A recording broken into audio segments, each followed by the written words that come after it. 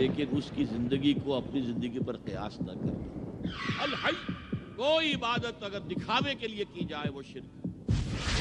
जिसने दिखाने के लिए नमाज़ पढ़ी जिसने दिखावे के लिए खैरात की उसने शिरक कर लिया कर चुका वो शिरक में मुलविस हो चुका। कौन है वो जो शफात कर सके उसके दरबार में मगर उसके इज्न से? एक गुनाह भी सारी तबाही लाने के लिए काफ़ी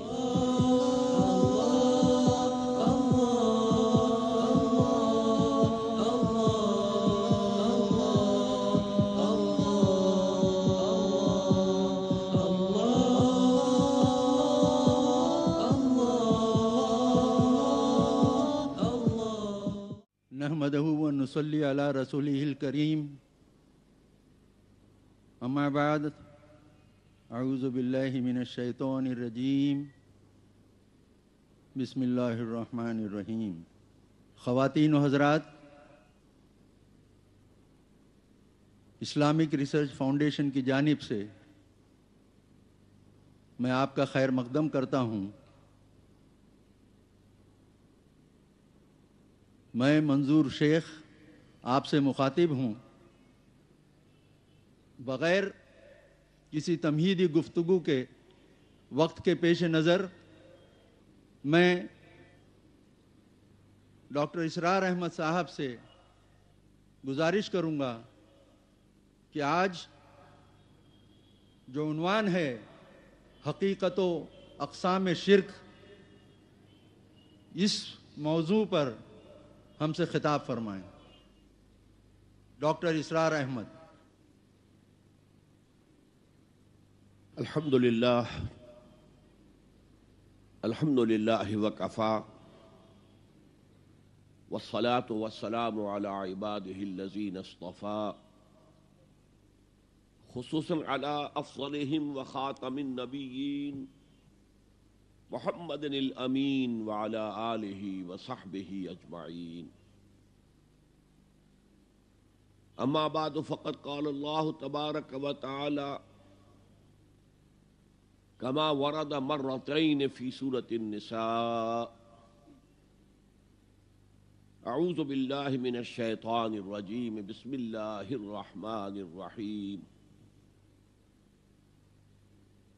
इन अल्लाह ला यगफिरु अन युशरक बिह व यगफिरु मा दून ज़ालिक लिमन यशा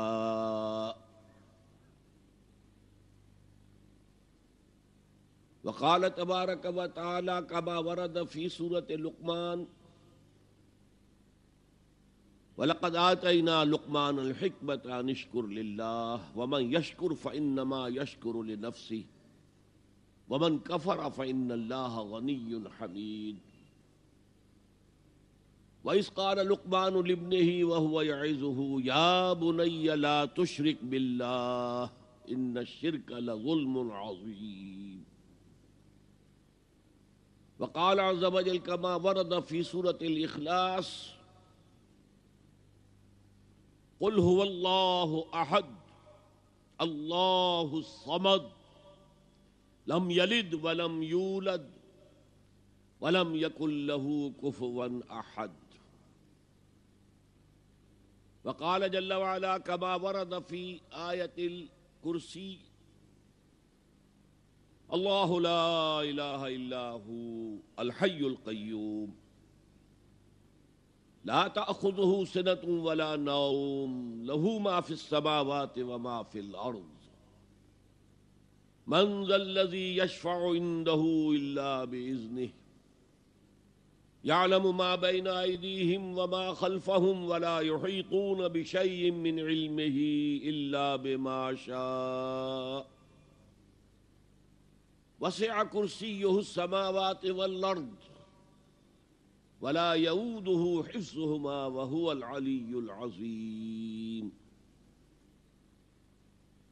सदक़ल्लाहुल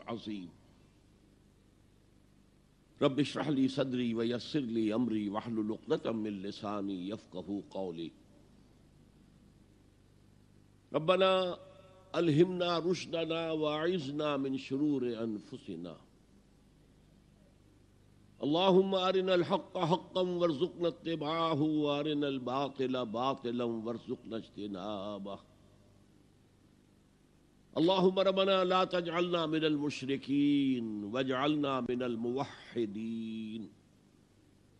आमीन या रब्बल आलमीन। मोज़्ज़ज़ हाज़रीन और मोहतरम ख़वातीन, अस्सलामु अलैकुम व व बरकातुहू मेरी आज की गुफ्तु का उनान आपके इल्म में आ चुका है, हकीकत अकसाम शिरक जहाँ तक हकीकत शिरक का ताल्लुक है उस पर हमारे इन इज्तमात में कुछ गुफ्तु हो चुकी है सूर्य लुकमान के दूसरे रुकू के ज़िमन में। मैंने अर्ज़ किया था कि जब हज़रत लुकमान ने अपने बेटे से कहा कि ला तुशरिक बिल्ला इन शिरक अजीम। ऐ मेरे बच्चे, अल्लाह के साथ शिरक मत कीजो इसलिए कि शिरक बहुत बड़ा जुल्म है। तो याद होगा कि मैंने अर्ज़ किया था कि जुल्म के मानी अरबी जबान में है वज शई फ़ी गैर महल ही। किसी चीज़ को उसके असल मकाम से हटा देना, किसी और जगह रख देना। तो शिरक दो सूरतों में होता है। या अल्लाह ताला को उसके मकाम रफ़ी से गिराकर मखलूक़ात की सफ में ले आया जाता है। ये जुल्म अजीम है। और या मखलूक़ात में से किसी को उठाकर अल्लाह के बराबर बिठा दिया जाता है। दोनों शक्लें जुल्म अजीम, बहुत बड़ी ज्यादती बहुत बड़ा जुल्म। इसकी जो अकसाम हैं, वो है असल में कि जिनको समझने की ज़रूरत है। शिर की अकसाम हमारे ओलमा ने मुख्तलिफ़ अंदाज में बयान की हैं। एक शिरक फिर अकीदा है। अकायद में शिरक। एक शिरक फिर अमल है। अमली शिरक। एक शिरक जली है। खुल्लम खुल्ला शिरक, नुमाया शिरक, वाज शिरक। एक शिरफ खफी है। वो शिरक जो छुपा हुआ है, जिस पर किसी मुफ्ती का फतवा नहीं लग सकता, लेकिन है शिरक। जहाँ तक इस शिरक की शनात का ताल्लुक है, मैंने जो आयत आपको सुनाई है, जो दो मरतबा आई है, बैन ही उन्हीं अल्फाज में, सूरह निसा में, अल्लाह ताला ने इरशाद फरमाया इन अल्लाह ला यकफर कभी अल्लाह ताला इसे तो हरगिज माफ़ नहीं करेगा कि उसके साथ शिरक किया जाए। यकफर मादू नजाल कलमई यशा। और बख्श देगा, मुआफ कर देगा, जो उससे कमतर है, जिसको चाहेगा। यह भी ओपन लाइसेंस नहीं है कि बाकी जो चाहो तुम करो, पेशगी मुआफी का ऐलान है। नहीं, जिसको चाहेगा, बख्श देगा। लेकिन यह कि शिरक को वो मुआफ नहीं करेगा।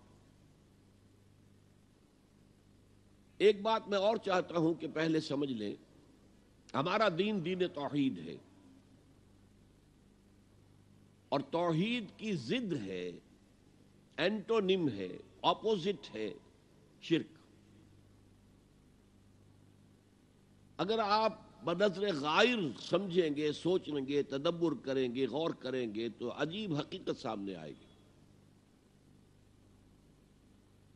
कि नेकी, अच्छाई, खैर, हिदायत की जो सूरत भी हो वो नज़रिया व ख्याल की हो, अकीदे की हो, वो सब तोहीद के शजर तैयबा ही की बरगोबार है।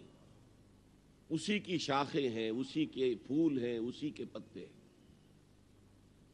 और बुराई और शर और गुनाह और गुमराही, ये चाहे अकीदे की हो, नज़रिए की हो, ख्याल की हो और चाहे अमल की हो, अखलाक की हो, इन सब के डांडे शिरक से मिलते हैं। ये शिरक के शजरा खबीसा की शाखें हैं। एक और अजीम हकीकत भी मैं चाहता हूँ कि पहले से आप जान लें। ये शिरक हर दौर में नया भेस और नया लिबादा ओढ़कर आता है। और उसके लिए बड़ी हकीकत भी निगाह की ज़रूरत है जो जाहिरी पर्दों को चीर कर हकीकत तक पहुँच सके। वरना अक्सर क्या होता है कि हमारे असलाफ ने, बुज़ुर्गों ने अपने दौर के शिरक को समझकर पहचान कर उसके खिलाफ जो फतवे दिए, जो मजम्मत की, बाद में आने वाले उनसे तो इज्तनाब करते हैं। लेकिन जो खुद उनके दौर का शिरक होता है, उसकी पहचान ही उन्हें नहीं होती। लिहाजा अपने कई इंतहाई मुवहिद समझने के बावजूद वो शिरक में मुबतला होते हैं। इसलिए कि उन्हें उस शिरक का एहसास ही नहीं, इदराक ही नहीं शूर ही हासिल नहीं। चुनाचे उसके लिए वो नज़र चाहिए जिसको शायर ने कहा है बहर रंगे के खाही जामा भी पोश नन अंदाजे कदत रामी शनासम। तुम जिस रंग का, जिस वजाकता का लिबास चाहो पहन लो, मैं तुम्हें तुम्हारे कद से पहचान दूँगा। तो कद से पहचान लेना यह ज़रूरी है शिरक के मामले में कि आदमी ये समझे कि हमारे दौर का असल शिरक क्या है। वरना वही होगा जो मैं अर्ज़ कर चुका हूँ कि वो गुजशत अदवार में ओलमा ने शिरक की जिन किस्मों और सूरतों की, नफ़ी की, तरदीद की उनसे तो बच रहे हैं। लेकिन अपने दौर के शिरक में खुल्लम खुल्ला मुलविस। अब मैं आ रहा हूँ, मैंने जो तकसीम की है शिरक के अकसाम को समझाने के लिए, वो ज़रा मुख्तलिफ़ है। वो शिरक फिल अकीदा और शिरक फिल अमल, वो भी उसमें आ जाएँगे। शिरक जली और शिरक खफी भी उसमें आ जाएँगे। लेकिन मेरा बयान जो है, वो शिरक की तीन किस्मों पर मुश्तमिल होगा। शिरक फिजात अल्लाह की जात में किसी को शरीक कर देना। यह बदतरीन शिरक है। उरिया तरीन शिरक है।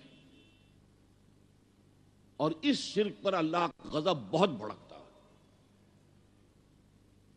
दूसरा शिरक है शिरक फिस सिफात। यह जरा टेढ़ा मामला है। कि सिफात के लिए हमारी जबान में जो अल्फाज हैं वो महदूद हैं। वही अल्फाज अल्लाह के लिए भी मुस्तमल है और मखलूक़ात के लिए भी। अल्लाह भी मौजूद है, हम भी मौजूद हैं। वजूद एक वस्फ और सिफत मुश्तरक हो गया।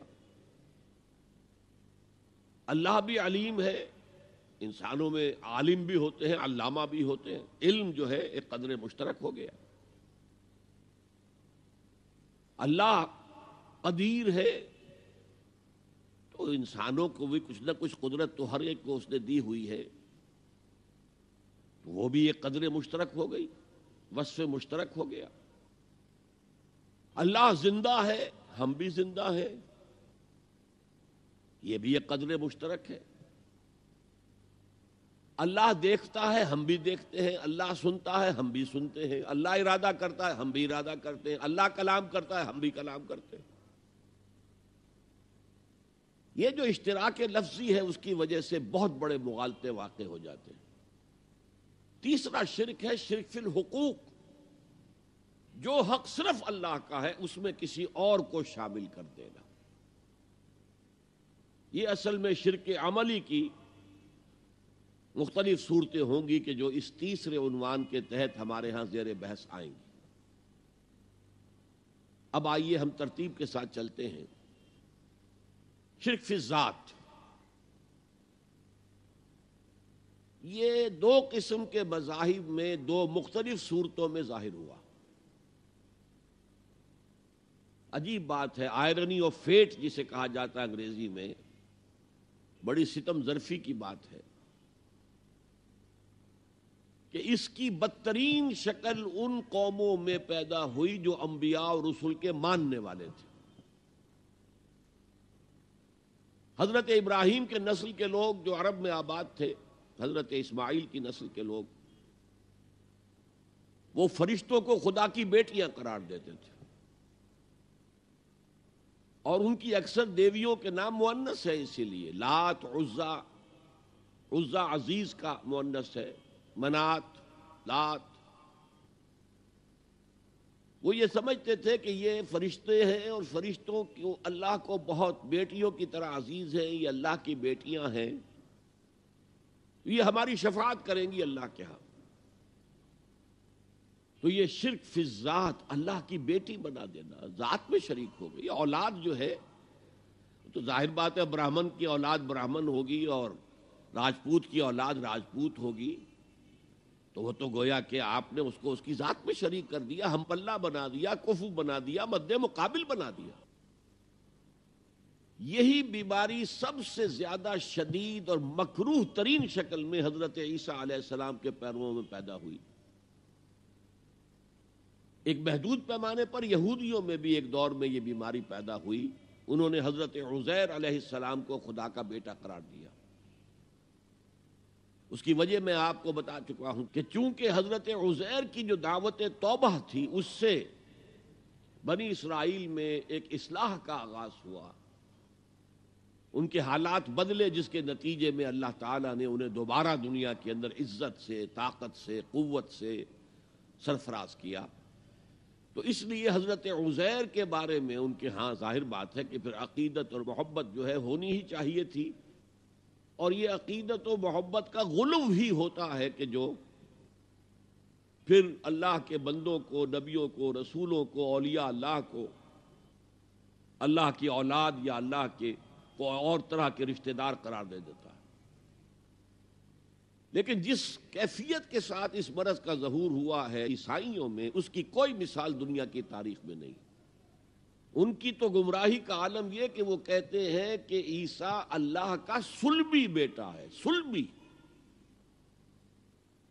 इस दर्जे वजाहत, ताकि कोई इस्तारा ना समझा जाए इसको। अगरचे इंजील में हज़रत मसीह जब कहते मेरा आसमानी बाप तो साथ ही ये भी कहते मेरा और तुम्हारा आसमानी बाप। तो या तो मानो कि फिर सब अल्लाह के बेटे हैं। ये बाप इस्तारे के तौर पर इस्तेमाल किया गया, जिससे वालिद पालता है, पोसता है।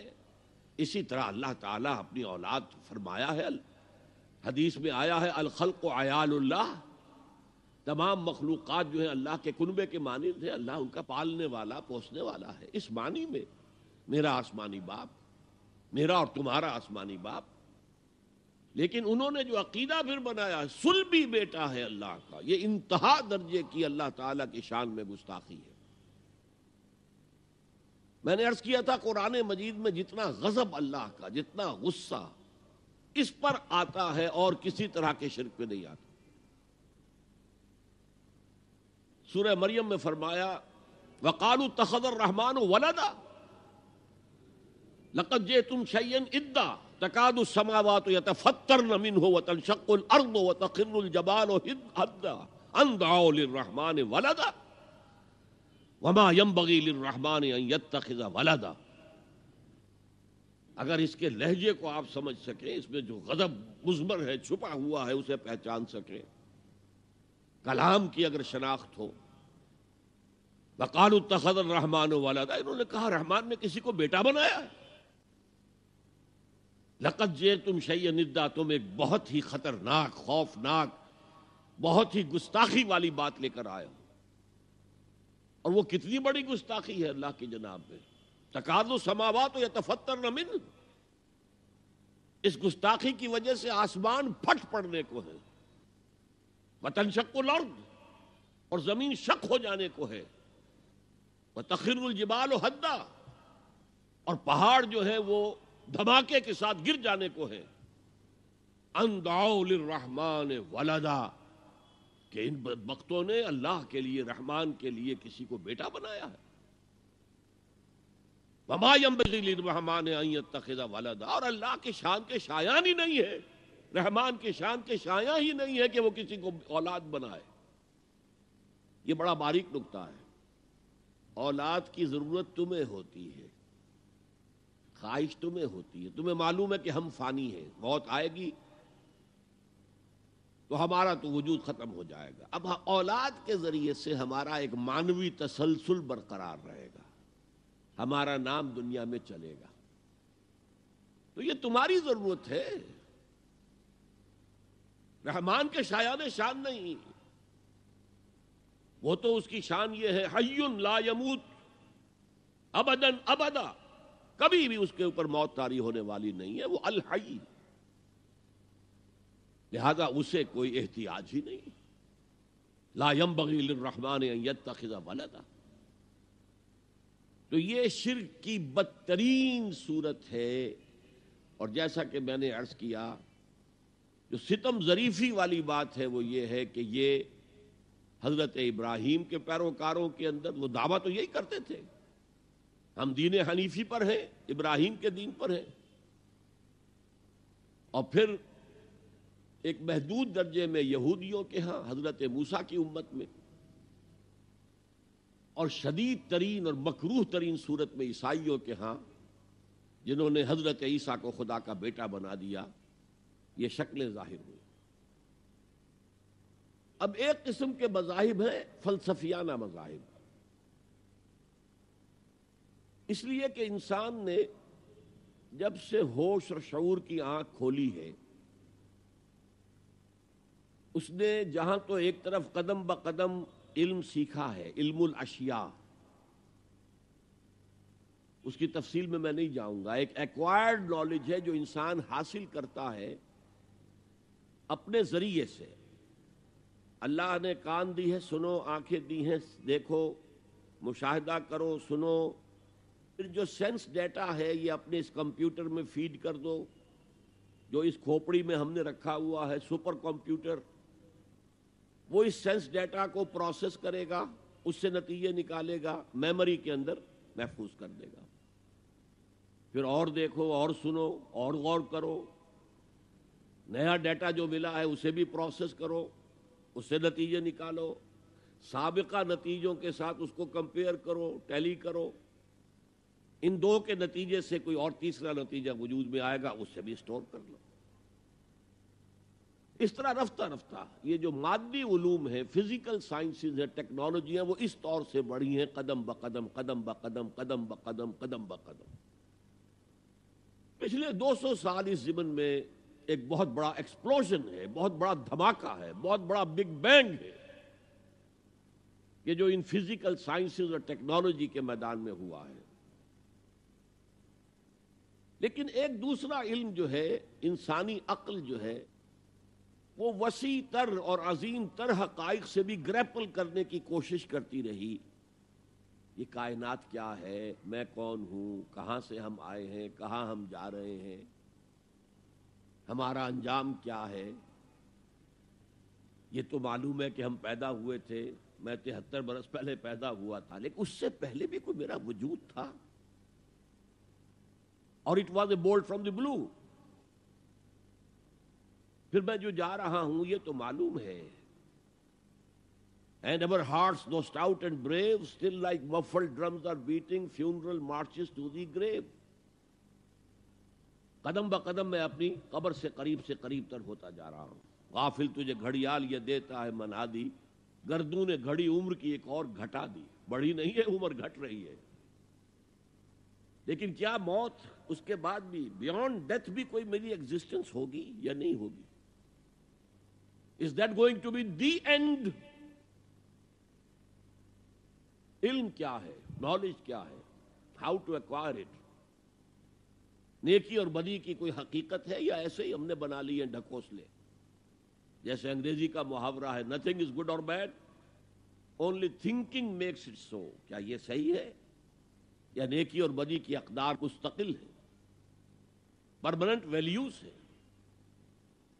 ये सारे शोबे जो मैंने गिनवाए हैं, ये दर हकीकत फलसफे के मुख्तलिफ़ शोबे हैं। कायनात क्या है, उसकी हकीकत क्या है, वजूद की हकीकत क्या है, ये मेटाफिजिक्स है। खैर और शर क्या है है भी कि नहीं है? अगर खैर खैर है तो उस पर आमादा करने वाली कौन सी ताकत होगी? अगर अगरचे उसमें नुकसान हो रहा हो। और शर अगर शर है तो उससे रोकने वाली कौन सी ताकत होगी? अगर अगरचे बजाहिर उससे फ़ायदा हो रहा हो, झूठ बोलने से फ़ायदा हो रहा है। तो कौन सी चीज़ रोकेगी उसे झूठ बोलने से? ये एथिक्स का निजामीन है। ये इल्मुल अखलाकियात। इल्म क्या है? उसकी किस्में क्या हैं? हाउ टू एक्वायर दम ये एपिस्टेमोलॉजी कहलाती है। ये जो है, फलसफे की एक और शाख है। तो ये सारी चीज़ें जो है, ये भी इंसान जो है कोशिश करता रहा, ग्रैपल करता रहा उनके साथ कि इस उकदे को किसी तरीके से खोला जाए। इसके जिमन में मुख्तलिफ़ फलसफियों के मुख्तलिफ़ फलसफे वजूद में आते रहे। और बाज फलसफों ने मजाहिब की शक्ल इख्तियार कर ली। हिंदुस्तान के अक्सर मजाहिब फलसफियाना मजाहिब और फलसफे के एतबार से जो यूनान को मकाम हासिल है, वही मकाम, बल्कि उससे ऊँचा मकाम हिंदुस्तान को हासिल है। छह दर्शन six different schools of thought in philosophy existed in India उसमें इल्हाद मुतलक भी है और उसमें तोहहीद मुतलक भी है। दोनों चीज़ों की मैंने इंतहा आपको बता दी तो ये फलसफियाना मजाहिब ने जब इस मसले को सोचा कि एक क्रिएटर तो है, समझ में आ गया, उसने ये कायनात कैसे क्रिएट की? एक बढ़ई जो है वो मेज बनाता है तो उसे लकड़ी चाहिए, लकड़ी के बगैर तो नहीं बना सकता। तो खुदा को भी मैटर दरकार था मैटर के बगैर तो वो कायनात नहीं बना सकता था। तो खुदा भी हमेशा से है मैटर भी हमेशा से है। कदीम ये सनवियत है। एक और फलसफा उनके यहाँ पैदा हुआ। खुदा भी हमेशा से है, मादा भी हमेशा से है, रूह भी हमेशा से है, आत्मा भी हमेशा से ये तसलीस हो गई। तादुद कदमा। अच्छा एक और बात। एक शक्ल ये सामने आई कि खुदा खुद ही कायनात की सूरत में ढल गया। ये जो कुछ है सब खुदा है। ये बदतरीन शिरक हो गया, बदतरीन शिरक। इसका नाम है हमऊस, सब वही कुछ तो है। जैसे बर्फ़ पिघली पानी बन गया। अब बर्फ़ कहाँ है? भाई, यही बर्फ़ तो पानी है ना। पानी ही तो बर्फ़ है। उस पानी को आपने उबाला, वो भाप बन के उड़ गया। कहाँ है भाई वो बर्फ़ और कहाँ है वो पानी? भाई, वही भाप ही तो बर्फ़ भी था, वही भाप ही तो पानी भी था। ये है जिसका नाम है हमाऊस्त पूरी कायनात, हर शय। और इसी को अंग्रेज़ी में कहते हैं पैंथीइज्म। मोनोथीइज्म एक खुदा को मानने वाले पॉलीथीइज्म बहुत से खुदाओं को मानने वाले पैंथीइज्म हर शय को खुदा समझने वाले पैन, आप लफ्ज बोलते पैन इस्लामिक, तमाम मुसलमानों के दरमियान का यह मसला है। पैन इस्लामिज्म, जमालुद्दीन अफगानी जिसके के दाई बनकर खड़े हुए थे 19वीं सदी ईस्वी में। तो पैन पैंथीइज्म मोनोथीइज्म, पॉलीथीइज्म, ये हमाऊस्त पैंथीइज्म बदतरीन शिरक है, बदतरीन शिरक है, बदतरीन शिरक। इससे आगे एक अकीदा पैदा हुआ, खुदा इंसानी शक्ल में आ जाता है। ये जो नेक लोग होते हैं, अच्छे लोग होते हैं, अखलाक और किरदार उनके बुलंद हैं, ये इस धरती के मकीन नहीं है ये। ये तो बड़ा घटिया, हमारा जो है वजूद का ये लेवल बड़ा नीचे है। जैसे इकबाल ने कहा जवाब शिकवा में कि शोख व गुस्ताख ये पस्ती के मकीन कैसे हैं? ये पस्ती के मकीन ज़मीन के ऊपर रींगने वाले ये इंसान, ये इतने शोक और गुस्ताख हो गए कि अल्लाह से शिकवा कर रहे हैं। तो जवाब है शिकवा का, जो आगाज़ हुआ है, शोक और गुस्ताख, ये फरिश्तों ने कहा। तो ये तो पस्ती के मकीन, इनमें अगर कोई ऊँचे अखलाक का है, बुलंद उसका किरदार है तो वो इस जगह के नहीं है। वो गॉड इनकारनेट है। खुदा ने शक्ल इख्तियार कर ली है इंसानों की। ये भी बदतरीन शिरक है। ये हुआ इंडिविजुअल लेवल पर। चुनाचे आपको मालूम होना चाहिए ईसाइत में भी पहले अकीदा था कि हज़रत मसीह गॉड इनकारनेट है। खुदा का जहूर है, खुदा की शक्ल है। बाद में फिर तसलीस का अकीदा वजूद में आया। और पहली तसलीस मुख्तलिफ़ थी मौजूदा तसलीस से। पहली तखलीस थी बाप God as father God as mother हज़रत मरियम को शामिल करते थे और फिर गॉड एज सन हज़रत मसीह तीन और उसके बाद हज़रत मरियम को वहाँ से बेदखल करके होली घोस्ट जबरील अमीन उनको शामिल किया गया तो ये फलसफियाना मजाहिब के शिरक हैं कि जो दुनिया में पैदा हुए हैं और ये शक्लें हैं कि जो शिरक फिजात की हैं जो बदतरीन शिरक है, जो अल्लाह के गज़ब को भड़काने वाला शिरक है, और यूँ समझिए कि उरिया तरीन शिरक है, ये शिरक फिल अकीदा की बदतरीन सूरत है। इसी की नफी की है अल्लाह ने, बहुत जामयत के साथ। चार आयतों की एक सूरत में, जिसको हजूर ने कहा कि सुनो से कुरान के मसावी है, तिहाई कुरान के बराबर है सूरह इखलास। कुल अहद अल्लाह सबद लम यलिद वलम यूलद वलम यकुल्लहू कुफुवन अहद कह दो ऐलान कर दो मोहम्मद सल्लल्लाहु अलैहि अल्लाह अकेला है अहद अल्लाह एक नहीं एक तो वाहिद से का तर्जुमा होगा अल्लाह वाहिद अहद अकेला तन्हा कोई उसका साजी नहीं है अल्लाह समझ समझ उसको कहते हैं कि जिसका कोई सहारा लिया जाए, जिसके सहारे से कोई चीज़ कायम हो। अल्लाह कायम बिजात है, अपनी जात से कायम है। पूरी कायनात उसने थामी हुई है, वो चला रहा है। आसमानों और जमीनों को उसने थामा हुआ, अनजालता, कहीं अपनी जगह से हट ना जाए। आपको मालूम है कि ये अजीम सैारे और ये अजीम जो गैलेक्सीज हैं इनकी असल हकीकत किस कदर बारीक मामला है इनका, किस कदर बारीक। लो सांस भी आहिस्ता के नाजुक है बहुत काम, आफाक की इस कारगह शीशा गरी का। इनके दरमियान जो फासले हैं, इनकी बाहमी कशिश है। इसको एक कशिश इधर से खींच रही है, एक कशिश इधर से खींच रही है तो ये अपनी जगह पर कायम है। अगर इधर की कशिश जरा सी बढ़ जाए, वो खींच लेगी। और वो टकरा जाएँगे और कायनात दरम बरम हो जाएगा। ये तो तवाजुन है। इसी को कहा सूर्य रहमान में, वबदाल मीजान लोगों ने समझा मीजान से मुराद। ये ज़मीन की जो मीजान जिसमें हम तोलते नहीं। वह समार वदाल मीजान। ये समा से मुतालिक है।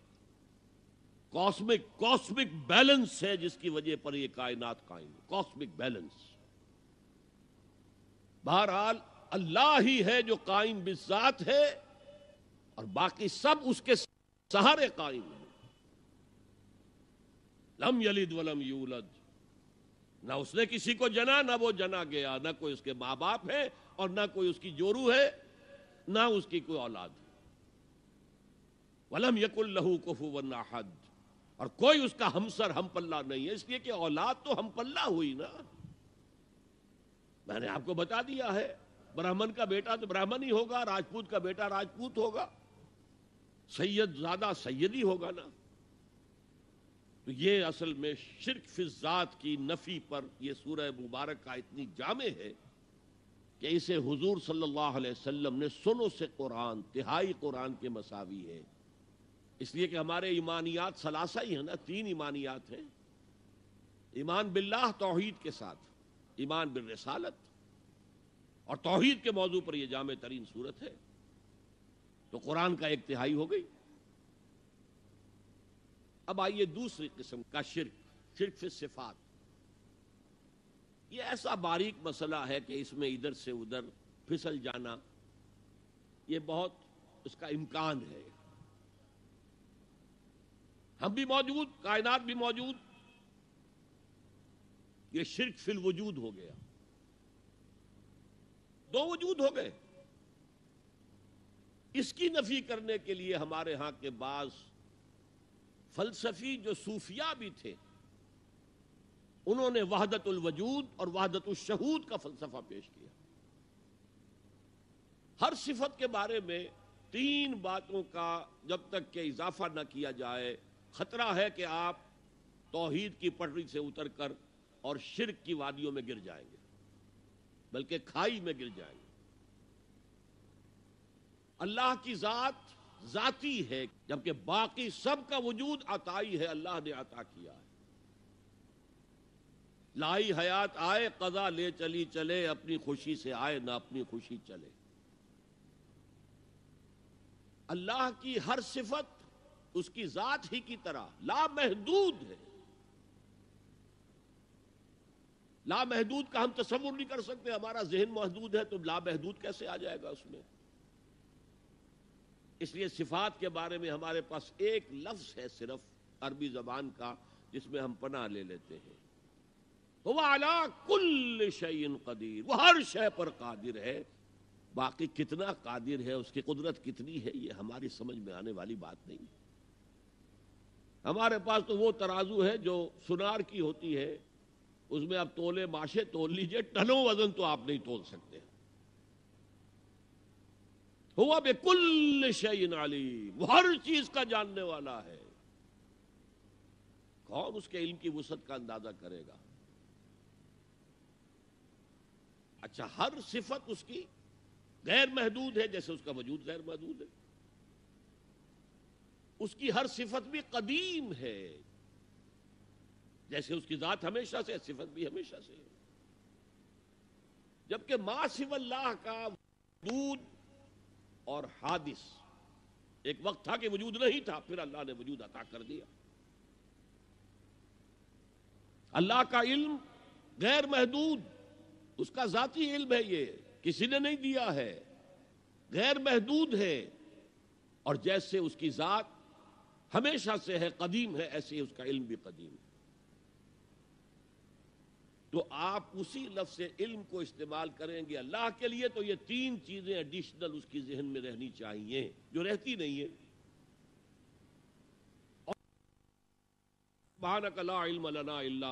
तना साफ़ कह दिया था कि नहीं?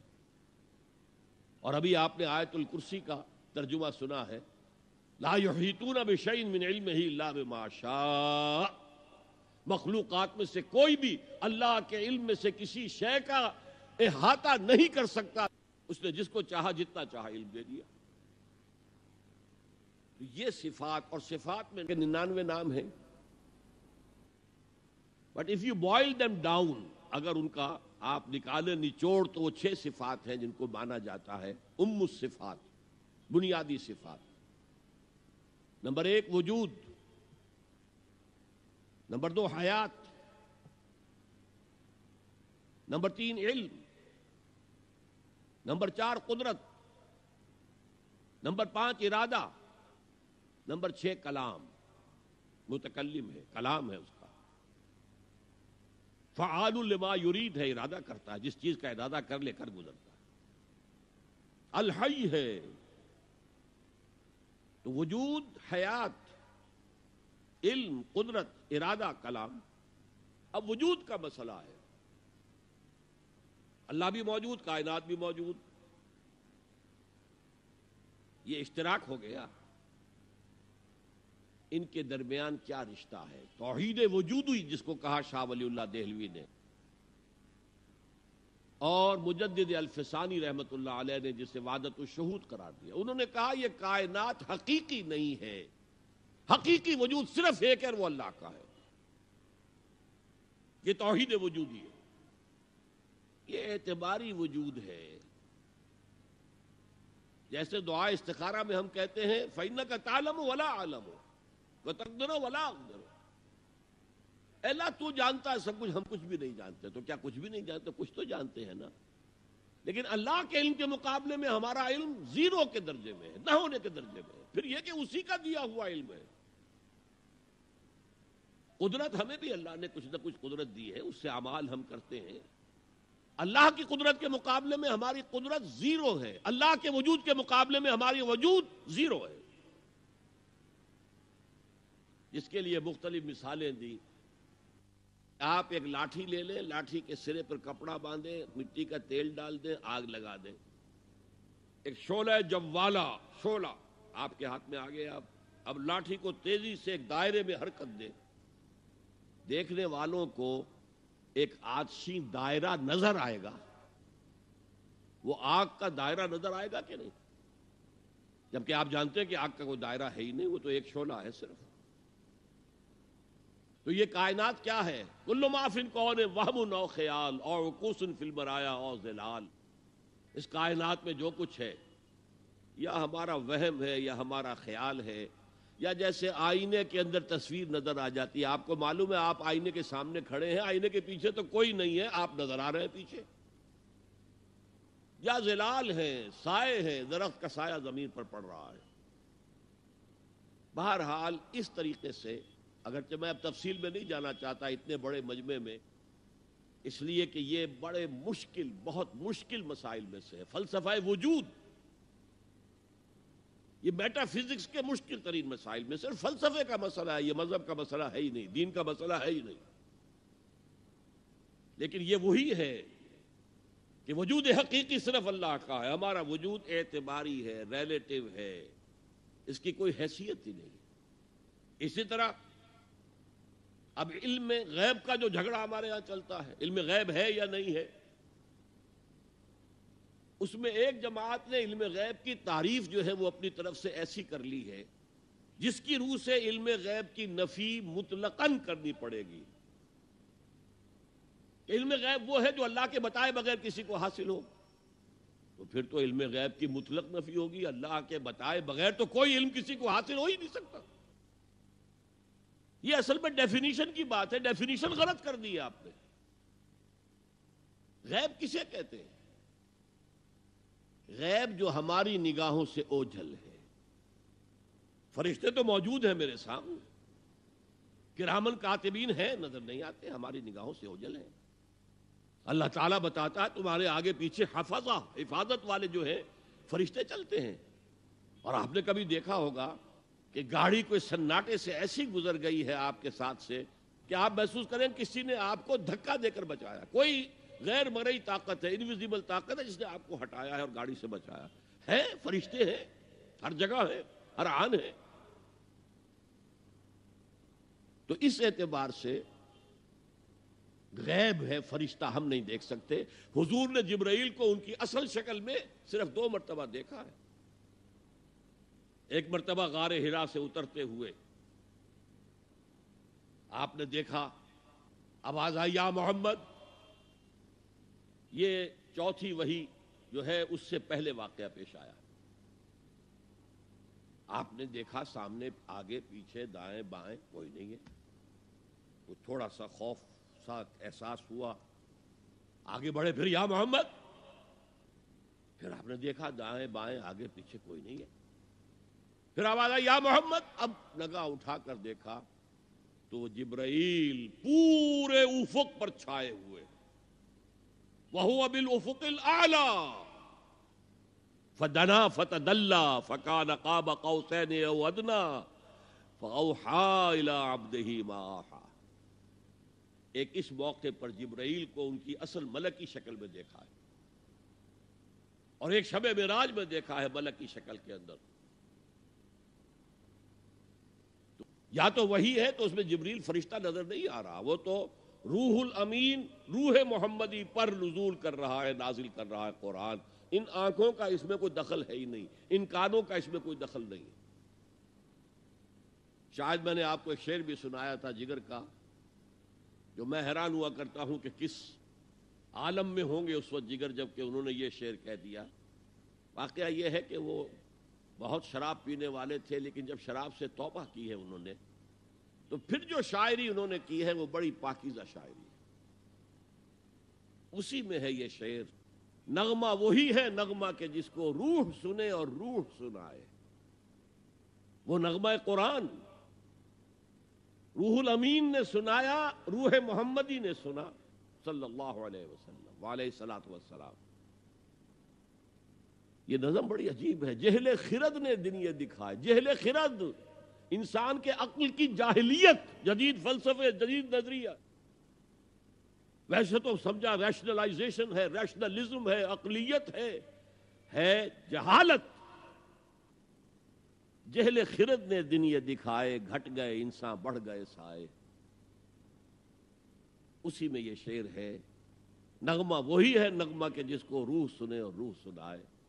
बहरहाल हुजूर ने जिब्राइल को असली शक्ल में भी देखा है, वो गैब में है या नहीं है? शब मेराज में आपने क्या नहीं देखा? जहन्नम को देख लिया, जन्नत की सैर कर ली। ये गैब है हमारे लिए। तो जो चीज़ें हमारे लिए गैब मैं इससे पहले एक गुफ्तगु में कह चुका हूँ कि अल्लाह के लिए तो गैब का सवाल ही नहीं। वो जब कहता है, आलिमुल गैब व शहादा वो हमारे एतबार से कहता है, जो चीज़ें तुम्हारे लिए गैब है, अल्लाह उनका भी जानने वाला है। और जो तुम्हारे लिए जो मौजूद है सामने, जिन्हें तुम देख सकते हो चाहे उनको देखने के लिए तुमने टेलीस्कोप ईजाद कर ली है तो उससे तुम्हारी आँख की सलाहियत बढ़ गई। अगर माइक्रोस्कोप ईजाद कर ली है तो उससे भी तुम्हारी आँख की सलाहियत बढ़ गई एक एतबार से। बहरहाल है ये तुम्हारे अपने हवा से खमसा। तुम्हारा इल्म तो वहीं तक रहेगा जो उमूर इन हवा से खमसा की गिरफ्त में आ सकें। इनसे जो मावरा है जिसको आप कहते हैं मावराउ तबड़ियात फ़िज़िकल वर्ल्ड से मावरा, जिसको मैंने अपनी गुफ्तगु में कहा था, आलम अम्र, एक आलम खल्क है। हमारी सारी साइंस, हमारा सारा मुताला, हमारी सारी इल्म जो है, वो आलम खल्क से मुतल है। आलम अम्र से कोई ताल्लुक ही नहीं। आलम अम्र से ताल्लुक रखने वाले फरिश्ते हैं और इंसान की रूह है। या सलून कानी रूह कुल रूह मिन अम्र रबी और आलम अम्र के अंदर ये चीज़ें वाकयात, तखलीक इस तौर से होती है कि उसमें सिर्फ़ कन, सिर्फ़ ये कहा जाता और हो जाता। टाइम एलिमेंट कोई नहीं है। यकूल लहू कुन, फयकूल। ऐसा ही कोई बड़ा कुन था जिसे साइंसदान तक पहुँच गए हैं। द बिग बैंग कोई बहुत बड़ा कुन था अल्लाह का, जिससे कि इस आलम खल्क का आगाज़ हुआ है। उस प्री बिग बैंग ईरा को वो नहीं जानते। वो बिल्कुल दूसरा दौर था। बहरहाल ये मेरा इस वक्त का मौजू नहीं है। तो यकीनन अल्लाह ताला अपने उस गैब का कुछ हिस्सा अंबिया को देता है तो वो नबी बनते हैं ना, वरना आम इंसानों और नबी में क्या फ़र्क हुआ? हमारा अक्ल, हमारा इल्म बिल हवास है, इल्म बिल अकल है। अगर यही दो है, मोहम्मद के पास भी सल्लल्लाहु अलैहि वसल्लम तो फिर क्या फ़र्क हुआ मेरे और उनके इल्म में? माज अल्लाह सुम्मा माज अल्लाह सुम्मा माज अल्लाह सूरह जिन में फरमाया, ला युजरो अला गैब ही इल्ला मनिर तदा मिन रसूल फ़ैन यसलको बिम्बैन यदे वमिन खल्फ हिम रसदन। वो अपने गैब के ऊपर मुतला नहीं करता किसी को भी सिवाय रसूलों के, जिनमें से रसूलों को जितना चाहे दे। कजाल का नूरी इब्राहिम मलकूत समावात वल्लर्द। इसी तरह हम इब्राहिम को दिखाते रहे तो आसमानों और ज़मीन के मलकूत की सैर कराई। नबी यकीनन आलम के इल्म में से कुछ हिस्सा पाता है, तभी तो नबी बनता है, वरना नबी होने का क्या सवाल? बाकी ये कि मैंने जैसा कि पहले भी किसी तकरीर में अर्ज़ किया है, मैं अभी तालिब इल्म था। 19-20 बरस की उम्र। तो मैंने एक बहुत बड़े आलिम दीन बरेलवी मकतब फ़िक्र जो हमारे यहाँ मशहूर है, मौलाना मंजूर अहमद शाह साहब, मंडगुमरी जो अब साहिवाल कहलाता है, उस ज़माने वो मंडगुमरी कहलाता था। मैं उनके पास गया इल्म गैब के मसले में कि आपका मौकफ क्या है। उन्होंने अपनी किताबें लाकर दिखाई, अपने असलाफ की तसानीफ दिखाई कि देखिए, हम हुजूर के इल्म के बारे में तीन बातें मानते हैं। हुजूर का इल्म जाती नहीं है, अताई है। अल्लाह का दिया हुआ है। हुजूर का इल्म गैर महदूद नहीं है, महदूद है। हुजूर का इल्म कदीम नहीं है, हादिस है। मैंने कहा, इन तीन बातों के बाद मेरा कोई झगड़ा नहीं आपसे। इससे आगे ये कहना, क्या मालूम था, क्या नहीं था, ये आप अपने हदूद से तजावुज कर रहे हैं। ये आप अपने हदूद से बाहर निकल रहे हैं। रब ने अपने बंदे को क्या क्या इल्म दिया है, वो जाने। हम नहीं नाप सकते। हम तो महजूब हैं, पर्दे में हैं, ओट में हैं। आलम गैब में हमारा गुजर ही नहीं है। लिहाजा इस बहस के अंदर खाम खा एक टेक्निकल सी, जो उसकी डेफिनेशन कर ली गई है, उसकी वजह से बड़े मार्के हैं, बड़े मुनाजरे हैं, बड़ी बहसें हैं। तो ये समझ लीजिए कि ये बहस भी इसी शिरक और तोहीद फिर सिफात के जिमन में सामने आती है। इसी पर आप कयास करते चले जाइए। बाकी तमाम सिफात का मामला भी यही होगा कि जो भी सिफत है अल्लाह की, वो अल्लाह की ज़ाती है, किसी की अता करदा नहीं है। वो जैसे उसकी ज़ात गैर महदूद है, वो सिफत भी गैर महदूद है। जैसे उसकी ज़ात कदीम है, वो सिफत भी कदीम है। जुमला मखलूक़ात की जुमला सिफात अताई है अल्लाह की दी हुई है, जैसे उनका वजूद अताई है। वो लामहदूद नहीं है महदूद है। इसी तरीके से वो हादिस है, कदीम नहीं है। बस ये है बारीक सी बात, ये तीन बातें जहन में रहे तो आप सिर्फ़ सिफात से महफूज हो जाएँगे अब आइए सबसे कठिन वादी आ रही है, शिरक फिल हुकूक। अल्लाह के हुकूक क्या क्या है इंसान पर? उसकी अगर आप गिनती करें, लिस्ट बनाएँ तो बहुत लंबी हो जाएगी। अल्लाह का शुक्र करना चाहिए, अल्लाह की इबादत करनी चाहिए, अल्लाह के अहकाम पर चलना चाहिए, अल्लाह के आयद करदा फरीज़े जो है वो अदा करने चाहिए, अल्लाह की हराम चीज़ों से बचना चाहिए, अल्लाह की तज़ीम व तकबीर करनी चाहिए, अल्लाह के दीन को गालिब करने के लिए जिद्दोजहद करनी चाहिए, अल्लाह के कलमे को सरबलंद करने के लिए तन मन धन लगाना चाहिए, अल्लाह के हकूक में शुमार हो जाए। एक लफ्ज ऐसा है कि जैसे कहते हैं हम अपनी जबान में, हाथी के पाँव में सबके पाँव। एक लफ्ज है कि जो जुमला हुकूक को अपने अंदर समो लेता है। वो लफ्ज है इबादत। यही वजह है कि कुरान मजीद में तमाम अम्बिया और रसुल की दावत जो आती है मुख्तलिफ़ मक्की सूरतों में, वो क्या है? सबने यह कहा, या कौम अबुदुल्लाह मालकुम गैरो। है मेरी कौम के लोगों अल्लाह की इबादत करो, तुम्हारा कोई और मबूद नहीं है सिवाय उसके। यही दावत जो है, हज़रत नूह की थी, हज़रत हूद की थी, हज़रत साले की थी, हज़रत शुएब की थी, हज़रत लूत की थी, और हज़रत मूसा की थी, हज़रत ईसा की थी सबकी दावत। यही दावत जो है, हुजूर की आई है कुरान में, एक फ़र्क के साथ। सबका तमाम अम्बिया और रसुल सिर्फ़ अपनी अपनी कौमों के लिए मबूस किए गए थे। हजूर के बेसन पूरी नौ इंसानी के लिए। लिहाजा यहाँ या कौमे का लफ्ज नहीं मिलेगा। या युहन्नास या युहन्नास या युहन्नास। या युहन्नासोबदू रब्बकुमुल्लज़ी खलक़कुम वल्लज़ीन मिन क़ब्लिकुम लअल्लकुम तत्तक़ून। ऐ लोगो इबादत करो अपने उस रब की जिसने तुम्हें भी पैदा किया और तुमसे पहले जो लोग थे उनको भी पैदा किया, ताकि तुम बच सको।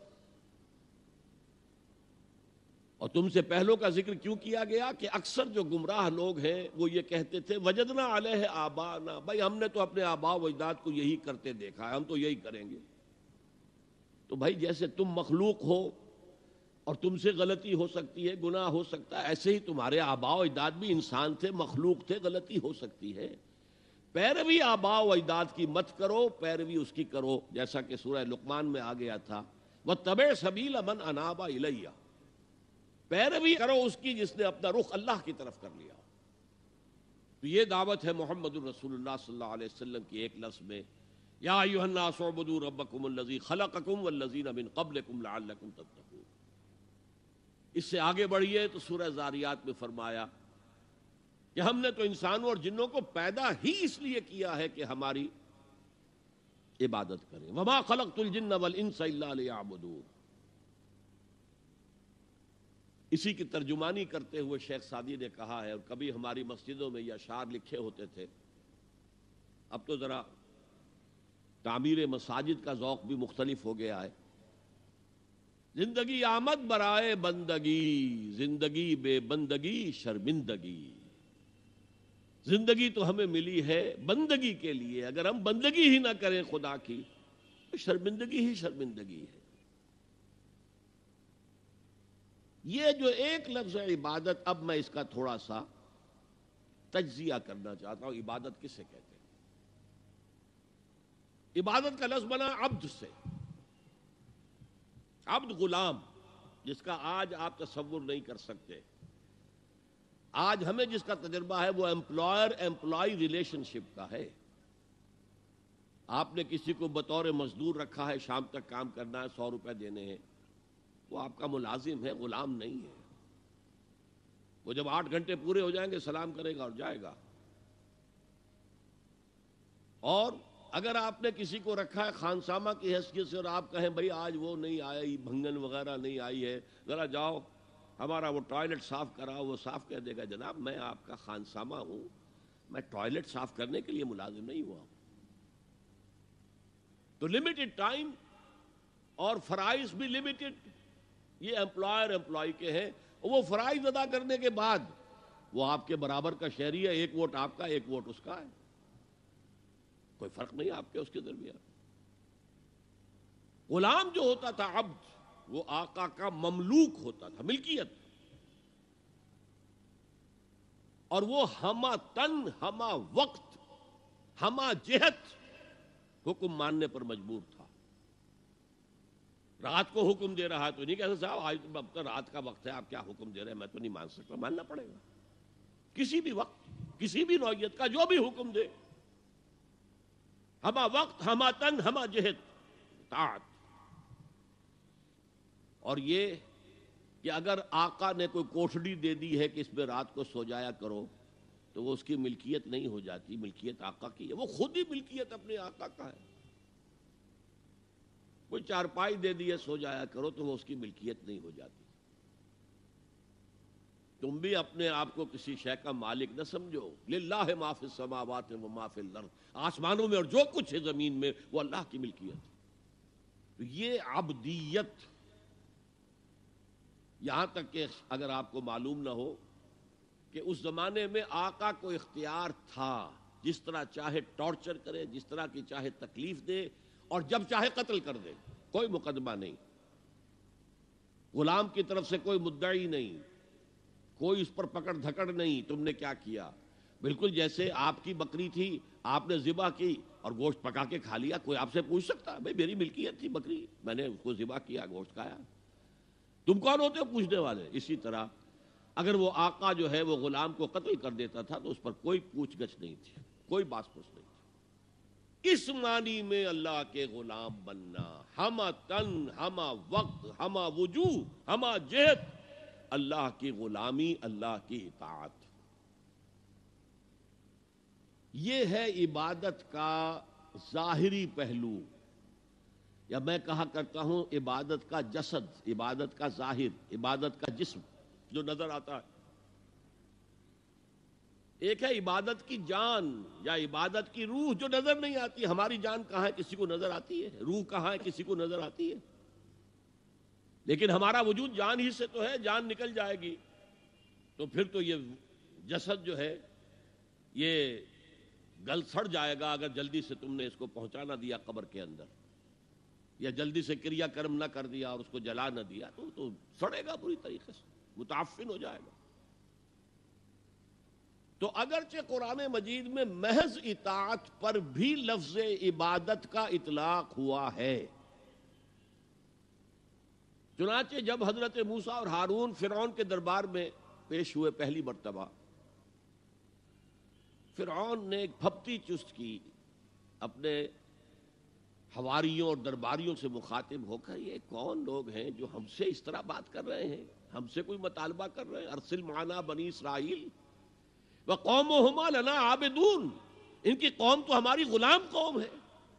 ज़ाहिर बात है कि वो फिर या उनकी कौम की परस्तिश नहीं करते थे, इबादत नहीं करते थे, लेकिन चूँकि इतात पर मजबूर थे, लिहाजा उसके लिए लफ्ज उसने इस्तेमाल किया, आबिदून कौम हुमा लना आबिदून।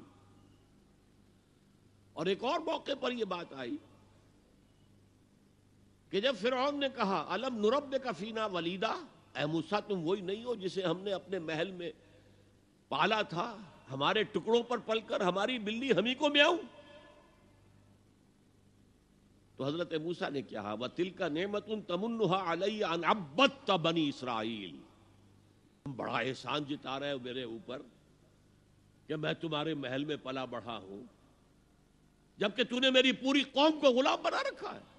अब बत्ता तो इबादत का इतलाक महज इतात पर भी है, चाहे वो खाही न खाही हो, मजबूरी से हो, कराहत के साथ हो, लेकिन ये इतलाक उस पर होता है। यही वजह है कि आज के दौर में जो जदीद मुफक्रीन है इस्लाम के, उन्होंने इस इतात के पहलू को इतना नुमाया किया है, इतना नुमाया किया इसलिए कि आम लोगों के जहन से यह तस्वुर गुजर गया था, नमाज़, रोजा, हज, जक़ात, इबादत हो गई बस, और कौन सी इबादत चाहिए तुम्हें?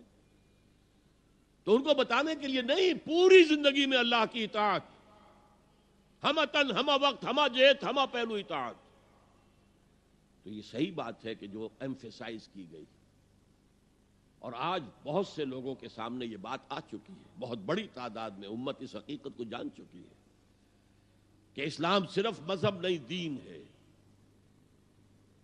यह मुकम्मल निज़ाम हयात है यह मुकम्मल जबता हयात है।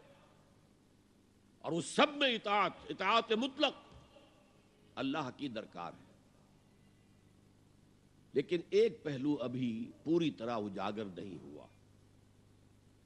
अल्लाह की इबादत में अगर वो बिलिकरा हो रही है, तबीयत के खिलाफ हो रही है तो वो मुनाफिकाना इतात है।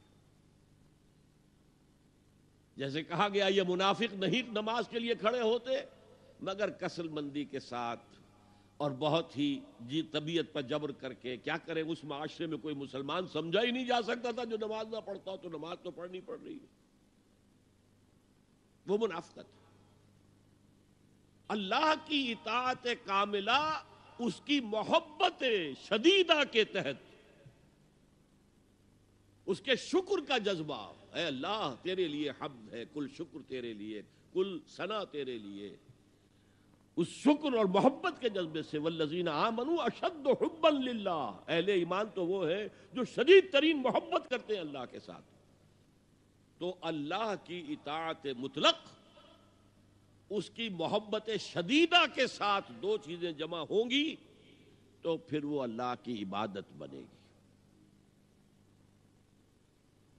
चुनाचे वो जसद है तो ये रूह है, ये जान है, इबादत की।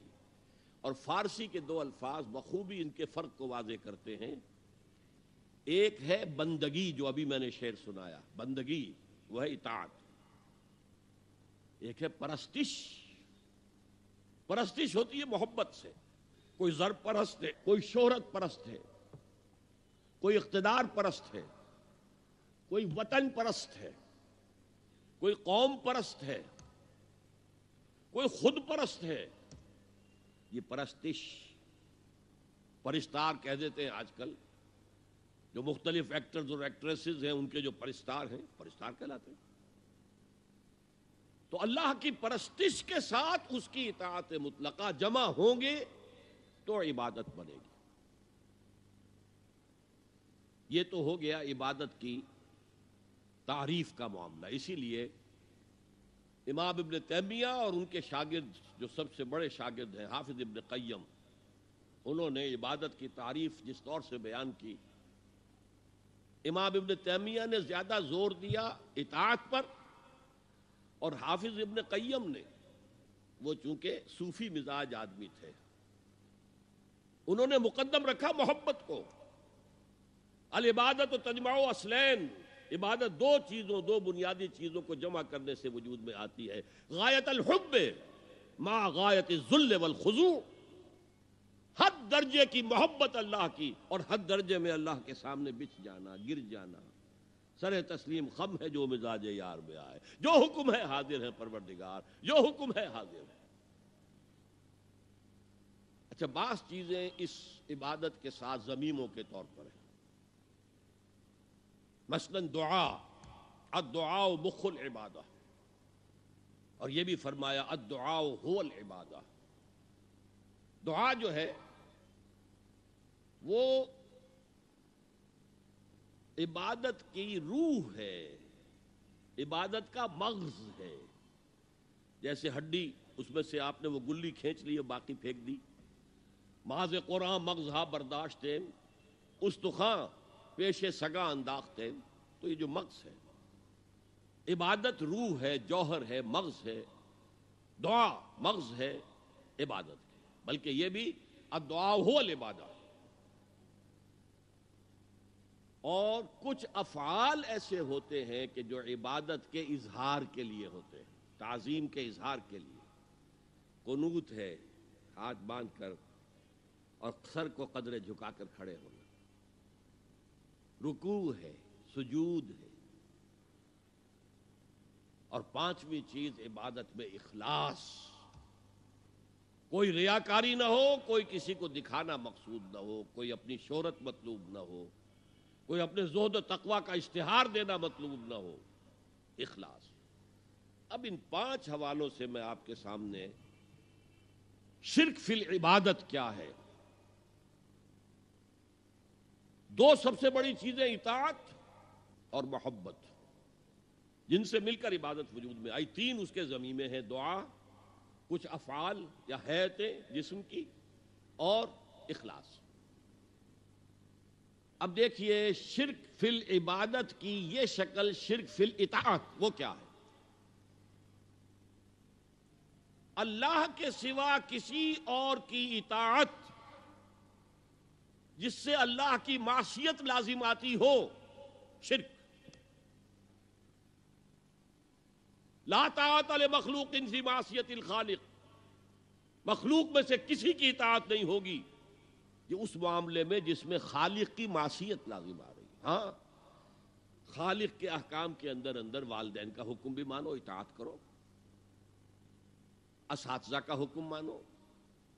किसी और को अपना लीडर माना है, उसका हुक्म मानो। लेकिन नॉट बियॉन्ड वो जो सर्कल है, किताब सुन्नत का, उससे बाहर नहीं। ला मखलूक इनफी खालिक। ये आप अलजबरे के फार्मूले के तौर पर अपने सामने रखिए। अब इसे अप्लाई कीजिए, जैसे फार्मूलों के ज़रिए से फिर बड़े बड़े वो सम जो है, वो हल किए जाते थे सवालात। सुबह का वक्त है, आँख भी खुली है कुआदान की आवाज़ भी कान में आई है। आपका नफ्स कहता है, अभी सो जी। आपने अपनी चादर या कंबल को दुरुस्त किया और करवट ली और सो गए। ये क्या है? आपने किसका हुक्म पीछे फेंका और किसका हुक्म माना? अल्लाह के हुक्म को पीछे फेंक दिया, नफ्स के हुक्म को आगे रखा ये शिरक, इस शिरक को जानने वाले बहुत कम हैं। मौलाना रूम ने खूब कहा था, नफ्स माँ हम कम तरस फिर नीस्त, लेकिन उराओन इराओन नीस्त। मेरा नफ्स भी फिर से कम नहीं है। फिर ने कहा था ना, अलह सलीम मुल्क मिस्र वहादिल अनहार और तजरीब थी क्या इस मुल्क के मिस्र की हुकूमत मेरी नहीं है? और सारा जो ये आप पाशी का निज़ाम है, अनहार का निज़ाम है, वो मेरे कंट्रोल में नहीं है। जिसका चाहूँ मोगा खुला रखूँ, जिसका चाहूँ बंद कर दूँ। ये था खुदाई का दावा अन रब को बुला तो मौलाना रूम कहते हैं, मेरा नफ्स भी उससे कमतर नहीं है। वो कहता, ये जिसम मेरा है, इस पर मेरा हुक्म चलेगा। मैं नहीं जानता कौन अल्लाह, कौन रसूल। क्या हराम, क्या हलाल। तो फिर से कम तो नहीं है मेरा नफ्स। लेकिन उराओन, उसकी बहुत मदद थी। फौज थी, लाओ लश्कर था तो उसने जबान से भी कह दिया, खुलकर अला रब को मुलाला। मैं मिस्कीन हूँ, गरीब हूँ, मेरे पास कोई ताकत नहीं है, मैं जबान से तो कुछ नहीं कह सकता। अंदर से मेरा नफ्स यही कहता। ये नफ्स की हुकूमत कुरान कहता है, बहरान होता हूँ। दो जगह ये मजमून आया है। और आयत तमनी तहदा इलाह हवा हो अफानता तकून वकीला। ए नबी, तुमने देखा उस शख्स को? उसके हाल पर गौर किया जिसने अपनी ख्वाहिश नफ्स को अपना इलाह बना लिया है। अल्लाह अकबर। इलाह, ला इलाह इल्लल्लाह। कलमा तोहीद का मरकजी लफ्ज यहाँ आ रहा है। मन तखद इलाह हवा हो जिसने अपनी ख्वाहिश नफ्स को अपना महबूद बना लिया, इलाह बना लिया। अफानत तकून अलह वकीला, क्या आप ऐसे शख्स की कोई ज़िम्मेदारी ले सकते हैं? सूद हराम, हुआ करे जी हराम वराम। हमारा धंधा जो है वो आगे बढ़ नहीं सकता। तो अल्लाह के हुक्म को पीछे डाला, नफ्स के तकाजे को आगे रखा। कौन मबूद है आपका? नाम अब्दुल्ला रखिए। नाम अब्दुल रहमान रखिए, है अब्दुल नफ्स। नफ्स के बंदे, नफ्स के गुलाम। ये मैंने, यूँ समझिए कि जैसे मैंने हिजरत और जिहाद की डेफिनेशंस की थी। हिजरत का बेस क्या है? पूछा गया अयुल हिजरत अफजल हो या रसूल अल्लाह ए अल्लाह के रसूल, बताइए सबसे आला हिजरत कौन सी है, अफजल? फरमाया अंताजुरा माँ करे हर रब्बुक। हर उस चीज़ को छोड़ दो जो तुम्हारे रब को पसंद नहीं। आज रात ही से आप हिजरत शुरू कर सकते हैं। जायजा लीजिए क्या क्या चीज़ें मेरी ज़िंदगी में खिलाफ शरीयत हैं, जो अल्लाह को नापसंद है। फैसला कीजिए कि आज के बाद नहीं होगी, हिजरत शुरू हो गई। अफजल हिजरा, सबसे अफजल हिजरत शुरू हो गई। लेकिन टॉप पर ले जाइए तो ये हिजरत, जब अल्लाह के दीन को कायम करने की जिद्दोजहद उस मरहले पर आ जाए, कि अब बातिल के साथ टकराव है और अब चाहिए कि सारी कुत एक मरकज पर जमा हो जाए। हिजरत फ़र्ज़ कर दी गई। वो हिजरत घर बार छोड़कर, अहलो अयाल को छोड़कर और मक्के के भेड़ियों के रहमो करम पर छोड़कर अपने घर वालों को जो लोग हिजरत करके आए, हुक्म था। हिजरत मदीना फ़र्ज़ थी, हिजरत हफ्शा फ़र्ज़ नहीं थी। सिर्फ़ इजाज़त थी कि जिनसे सख्तियाँ नहीं झेली जा रही मजीद, वो चले जाए। तो हिजरत का ये इब्तदाई नुकता, इंतहा ये। जिहाद, अलमुजाहिद मन जहाद नफ्स जिहाद तो यहाँ से शुरू हो गया। अपने नफ्स के खिलाफ जिहाद करना। सुबह नफ्स ने कहा, अभी सो जाओ। आपने नफ्स की बात को रद्द किया, अपना कंबल उठा के फेंका, उठे, वज़ू किया। नमाज़ के लिए आप मस्जिद चल दिए। आपने जिहाद किया नफ्स के खिलाफ। ये अफजल जिहाद है। और सबसे चोटी ऊपर यह है कि जब वो हक व बातिल की जंग हो तो जान हथेली पर रखकर मैदान में हाजिर हो जाओ। इसी तरह ये जो शिरक फिल इतात है, मैंने आपको उसकी इब्तदा भी बता दी, इनफरादी सतह पर। अफरायत मनी तखदा हवा हो अफानता तकून अलह वकीला। क्या तुमने गौर किया उस शख्स की हालत पर जिसने अपनी ख्वाहिश नफ्स को अपना महबूद बना लिया, इलाह बना लिया? कह रहा है ला ला लेकिन इलाह तो उसका उसका नफ्स है। अब उसको इंतहा पर ले जाइए। अहद हाजिर का सबसे बड़ा शिरक, सबसे बड़ा शिरक, सबसे बड़ा शिरक अवामी हाकमियत का तस्वुर है। हाकिम अल्लाह के सिवा कोई नहीं। हुक्म ज़ाहिर बात है फिर ने अगर दावा किया था, मैं तुम्हारा खुदा हूँ, अना रब आला तो क्या उसका मतलब यह था, कायनात मैंने पैदा किए, तुम्हें मैंने पैदा किया? जरा सोचिए। क्या वो बुज़ुर्ग मौजूद नहीं होंगे जिन्होंने उसे देखा हो कि आज उसकी विलादत हुई थी, कल उसको, उसकी कोई और सैरी बनी हुई थी? ये तो कैसे दावा दावा क्या था? मेरा हुक्म चलेगा, मैं नहीं जानता। अलह सलीम को मिस्र। मिस्र की हुकूमत मेरी है कि नहीं? ये दावा था, ये खुदाई का दावा है। किसी जमाने में वो फर्द होते थे, नमरूद होते थे। नमारदा फरायना जमाल अब्दुल नासिर ने नारा लगाया था, नहनु अबनाउल फरायना बड़े फख्र के साथ हम फिर की औलाद हैं। और सद्दाम ने लगाया था नारा। नानू अबनाउल, नमारदा, हम नमरूदों की औलाद हैं। इराक के बादशाहों का लकब नमरूद था और मिस्र के बादशाह फरायदा थे, फिरौन थे। जमाने का जब इरतका हुआ है और इसमें फैसला कन काम जो है वो हुजूर ने सल्लल्लाहु अलैहि वसल्लम, जब हुजूर की हयात तय्यबा के बाद खिलाफत इनफरादी से इज्तमाही हो गई। जब तक नबूत जारी थी, नबी ही खलीफा होता था अल्लाह का। उसकी हॉटलाइन अल्लाह के साथ वही की लगी हुई है। उधर से हुक्म आता है, वो इंप्लीमेंट करता है। जहाँ उसका हुक्म नहीं है, वो अपना बेस्ट जजमेंट इस्तेमाल करके फैसला करता है। यही है वाइस जीरेंसी यही है खिलाफत, एसेंस ऑफ़ खिलाफत यही है। जैसे वाइस राय दिल्ली में होता था, हमारा बादशाह या मलका तो इंग्लिस्तान में होते थे। अब जो हिज मेजेस्टीज गवर्नमेंट या हर मेजेस्टीज गवर्नमेंट से हुक्म आया, वाइस राय उसमें कोई तगैर तबदुल नहीं कर सकता। He has to implement it as such जहाँ कोई हुक्म नहीं है तो वो मकाम पर बैठा है ऑन द स्पॉट है, हालात को देखे। और जो ममलकत और किंगडम की मसलहत में सबसे बेहतर नज़र आए, वो फैसला कर ले। लेकिन हुजूर पर नबूत खत्म तो खिलाफत कलेक्टिव हो गई। खिलाफतुल मुस्लिमीन। अगरचे शुरू शुरू में अमीरुल मोमिनीन कहा जाता था, कुछ अरसे के बाद खलीफतुल मुस्लिमीन, ये इस्तेलाह जो है वो आम हुई। इसी तरह इनफरादी मलूकियत की बजाय इज्तमाही मलूकियत का तस्वुर जो है शैतान ने पट्टी पढ़ाई। इबलीस की मजलिस शुरा जो इकबाल की बड़ी ही, यूँ समझिए कि अहम तरीन नज़मों में से उम्मत मुस्लिमा के नाम पैगाम पर मुश्तमिल वो नज़म जो है, और वो उनकी आखिरी अयाम की है, और वो उनकी ज़िंदगी में छपी भी नहीं थी। अरमगान हिजाज उनके इंतकाल के बाद छपी है।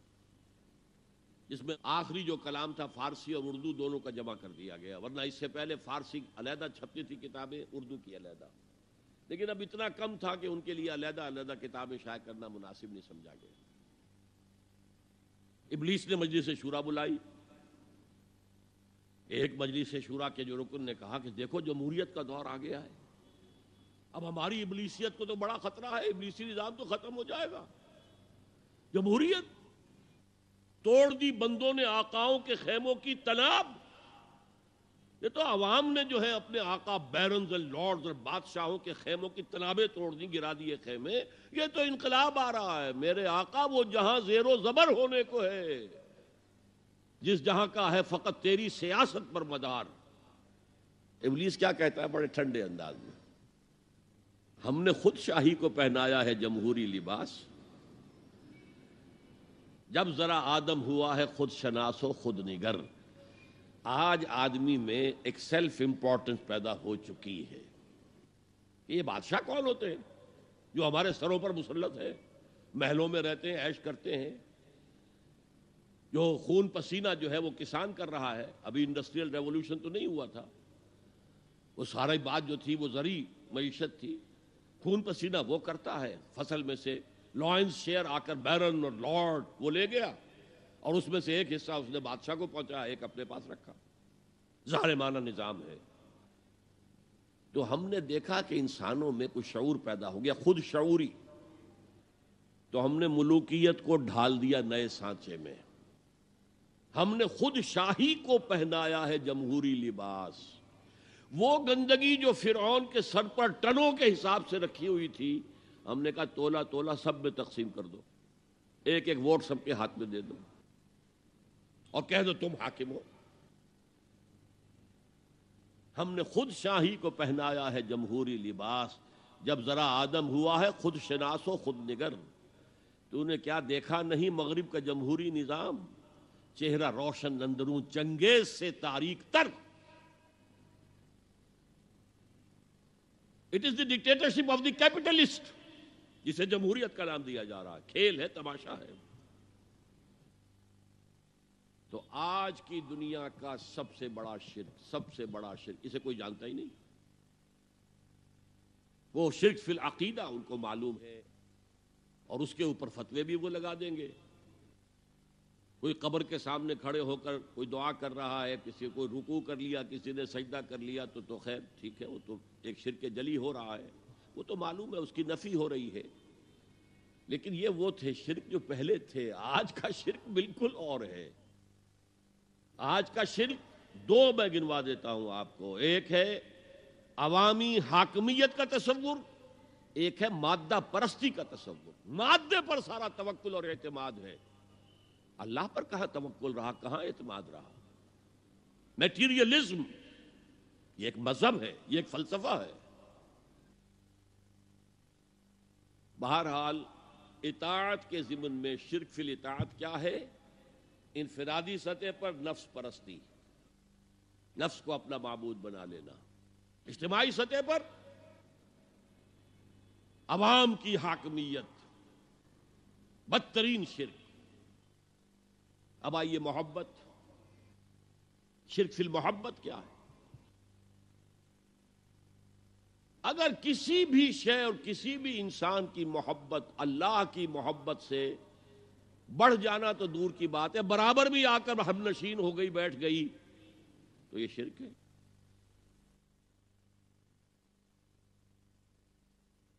वल्लजीन आमनु अशद हुब्बल्ला जब तक अशद मोहब्बत आप में अल्लाह की नहीं होगी, अगर कोई और शय महबूब है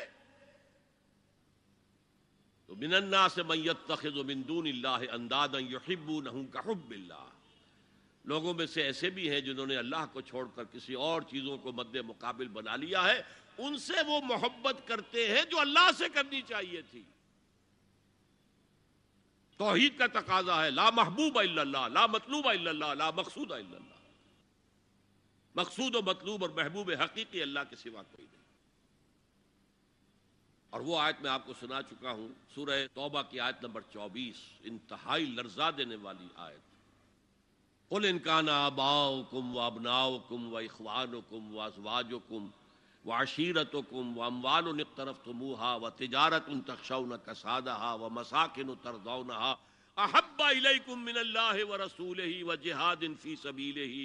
फतरब्बसू हत्ता याती अल्लाह बिअमरिही वल्लाहु ला यहदिल कौमल फासिकीन।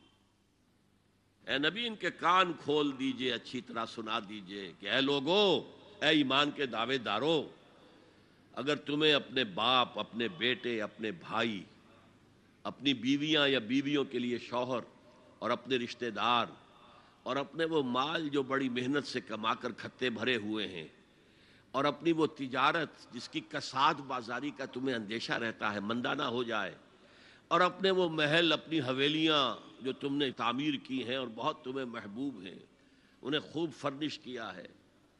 अगर ये आठ चीज़ें महबूब तर हैं। अल्लाह से और अल्लाह के रसूल से और अल्लाह की राह में जिहाद से। तो जाओ, दफ़ा हो जाओ, वहाँ बैठकर इंतज़ार करो। यहाँ तक कि अल्लाह अपना फैसला सुना दे और अल्लाह ऐसे फासिकों को कभी हिदायत नहीं देगा। आठ चीज़ें। इकबाल ने बहुत खूब कहा है, ये मालो दौलत दुनिया, ये रिश्ता पैवंद पाँच करीब तरीन रिश्ते आ गए, बाप, बेटा, भाई, जोजैन और रिश्तेदार। रिश्ता ओ पैवंद, ये जोड़ने वाला। और मालो दौलत दुनिया की तीन शक्लें आ गई, दौलत। जो आप अपनी बैलेंस शीट को देख देख कर आप उस पर खुश होते हैं। अब हमारे एसेट्स की यह कीमत हो गई है अब। और वो मकानात जो आपने बनाए हैं, बड़े महबूब हैं। और ऐसे बनाए हैं कुरान मजीद में आता है। ऐसे बना रहे जैसे तुम्हें हमेशा रहना इन मकानों के अंदर। और वो कारोबार जिनमें तुम्हें अंदेशा रहता है कि कहीं कसाद ना हो जाए, कोई डिप्रेशन ना आ जाए। ये आठ चीज़ें ये मालो दौलत दुनिया तीन। ये रिश्ता वो पैबंद। बुतान वहम गुमा ला ये सब वहमो गुमान के बुत हैं। जिनकी परस्तिश में तुम लगे हुए इन सब की परस्तिश छोड़ो तो ला इलाहा इल्लल्लाह का हक अदा होगा। अब इस उसूल को भी अप्लाई करना शुरू कीजिए। आइए इंडिविजुअल लेवल पर। दौलत की मोहब्बत। अगर आपको दौलत की मोहब्बत आमादा करती है कि अल्लाह के हदूद को पामाल करें हराम जरा इस्तेमाल करें। दौलत आनी चाहिए, हलाल से हो, हराम से हो, जायज़ से हो, नाजायज से हो बाई हुक और बाई क्रोक दौलत आनी चाहिए। तो आपकी महबूब हकीकी कौन हुई? दौलत। ये दौलत आपकी मबूद है। कौन बड़े से बड़ा मुवाहिद इस शिरक का एहसास रखता है? और हुजूर ने इस कदर क्लियर फरमाया है, तायसा अब्दुद्दीनार व अब्दुद्दिरहम। हलाक हो गया या हलाक हो जाए, ये कलाम खबरिया है या ये बदुआ है? तायसा व अब्दुद्दिरहम। दिरहम दीनार का बंदा हलाक हो जाए। नाम अब्दुल रहमान है, हकीकत में अब्दुद्दीनार है, अब्दुद्दिरहम है। दिरहम दीनार आने चाहिए, जायज़ से या नाजायज से, हलाल से या हराम से, सही से या गलत से बाई हुक और बाई क्रोक तो मबूद कौन हुआ? हमारे हिंदू भाइयों ने क्या किया? लक्ष्मी देवी दौलत की देवी है, उसकी पूजा करते किस लिए? मतलूब क्या है? दौलत। उसकी पूजा वो खुश हो जाए तो दौलत मिलेगी। हमने कहा, हटाओ जी, इस देवी को बीच में से हम बराह रास्त ही पूज लेंगे। बस यही तो फ़र्क किया है ना। अब्दुद्दीनार व अब्दुद्दिरहम। यह इनफरादी सतह पर। फिल मोहब्बत। जो रूह इबादत है, जो इबादत की जान है, मोहब्बत, गायत अलहुब माँ गायत खजू। और टॉप पर ले आइए। आज की दुनिया इज्तमाहीत के मैदान में अगरचे अब जमाना बदल रहा है, लेकिन तकरीबन एक सदी से नेशन स्टेट्स वतन की बुनियाद पर कौमियत, वतन महबूब तरीन शय। जो शय मेरे वतन के लिए सही है, वो मैं करूँगा, चाहे वो गलत हो, वो हराम हो, अल्लाह के कानून के खिलाफ हो, लेकिन मेरे वतन के लिए होगा। वतन जिंदाबाद। ये वतन परस्ती है। इस वतन परस्ती के मज़हब की एक नमाज़ भी है। तिराना हो रहा है तो खड़े हो जाओ, कुनूत। खड़े हो जाना इबादत का हिस्सा है। उसका झंडा सलामी दो। ये वतन के मबूद के रिचुअल्स हैं। मज़हब वतनीयत। इसीलिए इकबाल ने कहा था, इसको समझा नहीं किसी ने भी। इस दौर में मैं और है, जाम और है, जम और। साकी ने बिना की रविश लुत्फ सितम और। तहजीब के आजर ने तरशवाए सनम और। आज का सनम, आज का बुत कौन है? तहजीब के आजर ने तरशवाए सनम और। मुस्लिम ने भी तामीर किया अपना हरम और। इन ताज़ा खुदाओं में बड़ा सबसे वतन है। जो पैरहन इसका है, वो मज़हब का कफन खुदा परस्ती। ये वतन की लकीर से तुम और हो गए, मैं और हो गया। लकीर। इंसानियत मुनकसिम। जो तुम्हारे वतन के लिए ठीक है, वो तुम करोगे, चाहे वो अखलाकन गलत हो। और जो मेरे वतन के लिए ठीक है, वो मैं करूँगा, चाहे अखलाकन गलत ये कौन सा दीन है? यहाँ तो वतन तुम्हारा मबूद बन गया। पाकिस्तान में बड़ा शोर उठा था जब मैंने कहा था कि झंडे को सलामी देना शिरक है और तराने के वक्त खड़ा हो जाना शिरक है। और मैं कभी भी तकरीबात में जाता हूँ, इकबाल डे हो रहा है, कुछ और हो रहा है, मैं उन तकरीबात का मुकर नहीं हूँ, लेकिन जब बहुत ज़ोर देते हैं, चला जाता हूँ। लेकिन वहाँ तराना पड़ा जाता मैं बैठा रहता हूँ, मैं खड़ा नहीं होता। और उस पर चेमे गोइयाँ होती हैं अखबार के अंदर। लेकिन मेरे नज़दीक ये वतन की नमाज़ पढ़ रहे हो तुम। तुम्हारा ये कुनूत और वतन का तराना, उसमें हमद हो रही है वतन की। ये क्या है? आज के दौर का बदतरीन शिरक। शिरक फिल मोहब्बत। आगे चलिए। शिरक फिर दुआ। किसी को मत पुकारो, किसी मदद के लिए सिवाय अल्लाह। वनल मसाजिद अल्लाह फला तदरू माल्लाह अहदा। अल्लाह के साथ। एक तो यह कि अल्लाह को छोड़कर किसी को पुकारना। एक है अल्लाह के साथ पुकारना, अल्लाह को भी पुकारना, औरों को भी पुकारना। बदतरीन शिरक है, दुआ अल्लाह के लिए, निदा अल्लाह के लिए। इसका भी जरा मैं तजिया कर दूँ आप देखिए, एक है आम मादी कवानीन दुनिया के जो है, उसके तहत किसी से मदद चाहना। भाई, जरा मुझे पानी पिला देना, ये भी आपने मदद चाहिए, है ना?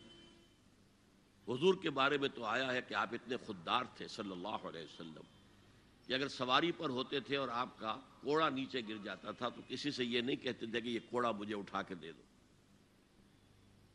बल्कि खुद सवारी से उतर कर कोड़ा उठाते तो ये जो कानून मादी है, इसके तहत मदद मांगना कोई बुरी बात नहीं है। कोई गलत बात नहीं। मावराई एतबार से, गैबी एतबार से किसी से मदद मांगना कसे बाशत कोई हो। शिरक शिरक से दुआ। इन मसाजिद फला तदरू एक इस्तारतन इस्तारतन इकबाल कहता है हमारा है फसीले किश्वर हिंदोस्तान। तो ये खिताब बिल्कुल एक इस्तारा सा है। इसी माने में मौलाना हाली ने अपनी मुसदस के इख्ताम पर जो मुनाजात लिखी है खासा खासा ने रसुल वक्त दुआ है, उम्मत में तेरी आके अजब वक्त पड़ा है। वो दी जो बड़ी शान से निकला था वतन से परदेश में वो आज गरीबुल हो रबा है। तो इस मानी में इस लफ्ज इस्तेमाल हो जाए तो उस पर बहुत ज़्यादा एलर्जिक भी नहीं होना चाहिए। लेकिन गैबी तौर पर किसी के बारे में यह अकीदा रख कर के वो मेरी मुश्किल कुशाई कर सकता है आदत रवाई कर सकता है, मेरी मदद कर सकता है, ये शिरक है और इसके शिरक होने में कोई शक नहीं। अनल मसाजिद फला तदरू अहद। अब देखिए हमारे ये फरिश्ते यहाँ बैठे हैं ना, हम कह सकते हैं, जरा भाई मेरा ये काम कर देना। नहीं कह सकते। जिब्राइल को पुकार सकते हैं है जिब्राइल, जरा मेरा ये काम कर देना। नहीं। वो आलम गैब की शय है। किसी वलीउल्लाह की रूह को पुकार कर कहना कि मेरी ये मुश्किल दूर कर दे। नहीं। अल्लाह से कहे, अल्लाह को पुकारे, अल्लाह जिसके ज़रिए से चाहे, आपकी ज़रूरत पूरी कर दे। इस जिमन में मैं कहूँगा कि शाह वलीउल्लाह देहलवी ने एक बात कही है, अगरचे मुझे उसकी कोई दलील अपने तौर पर इंडिपेंडेंटली किताब सुन्नत में नहीं मिली है, लेकिन शाह साहब का एक मकाम मरतबा है जो मेरी निगाह में बहुत बुलंद है। उन्होंने ये लिखा है कि जो अल्लाह के बरगुजीदा बंदे होते हैं, औलिया अल्लाह अल्लाह ताला उनकी अरवाह को उनके फौत होने के बाद मलाइका के तबक़े असफल में शामिल कर देते हैं। और वो भी जिस तरह वो मलाइका अल्लाह के अहकाम की ज़मीन में तनफीस कर रहे हैं, वो भी उसी काम में लग जाते हैं। मैंने अर्ज़ किया कि मेरे पास इंडिपेंडेंटली कोई दलील नहीं है इसके हक में, लेकिन शाह साहब का फरमाना खुद मेरे लिए एक दर्जे में दलील है। लेकिन यहाँ एक तो ये नोट करने का, मलाइका का तबका असफल, मलाइका का सबसे निचला तबका। और अल्लाह के हुक्म की तनफीस करते तो फरिश्ते कर रहे हैं, वो भी हो। हमें से क्या गरज है? हम ना फरिश्ते को पुकार सकते हैं और न किसी वली अल्लाह को पुकार सकते पुकारो अल्लाह को। काल रबुकमदूनी अस्तजिब लकुम। इन लजीन यस्तक बिरून आने बादती सैयद खलून जहन्नम दाखिरीन। तुम्हारा रब कहता है, मुझे पुकारो, मुझसे मांगो, मैं तुम्हें दूँगा। तुम्हारी दुआ सुनूँगा, कबूल करूँगा। और जो बरबिनाए तकबर मुझसे नहीं मांगते, वो जहन्नम में दाखिल होंगे, जलील खार होकर। हुजूर ने एक बात मुझे मतन याद नहीं है, बहुत प्यारी फरमाई। देखो, इंसानों से तुम मांगते हो कुछ तो एक दफ़ा तो उसके माथे पर, तेवरी पर बल पड़ ही जाता। ये क्यों मेरे सामने हाथ सवाल किया? क्यों मुझे इससे मांग रहा है? चलिए, बाद में कुछ वो दे ही दे। नागवार गुजरता है। अरे उससे मांगो जो कहता है कि मुझसे मांगो, और मैं दूँगा। वो ना मांगने पे नाराज़ है, उससे नहीं मांगते। रात के आखिरी सातों में, या जिसे आप कहते हैं the small hours of the morning हदीस में आता अल्लाह नजूर इजलाल फरमाते जिसको हम नहीं जानते कैसे नजूल होता है। ज़ात बारी ताला और उसके मुतक़ात के बारे में, जो बात आ गई कुरान में, हदीस में, वो हम मानते हैं। कैसा, ये हम नहीं जानते। उसका हाथ है, कैसा है हम नहीं जानते। उसका चेहरा है, कैसा है हम नहीं जानते। उसकी साख है, उसकी पिंडरी है, कैसी हम नहीं जानते। वो सुनता है, कैसे सुनता है, हम नहीं जानते। क्या उसके कान है? क्या उसे भी साउंड वेव्स की ज़रूरत है सुनने के लिए? वो देखता है, कैसे देखता है, हम नहीं जानते। वो उतरता है, कैसे उतरता है, हम नहीं जानते। जो कुरान में आ गया, हदीस में आ गया, मान लीजिए, बस।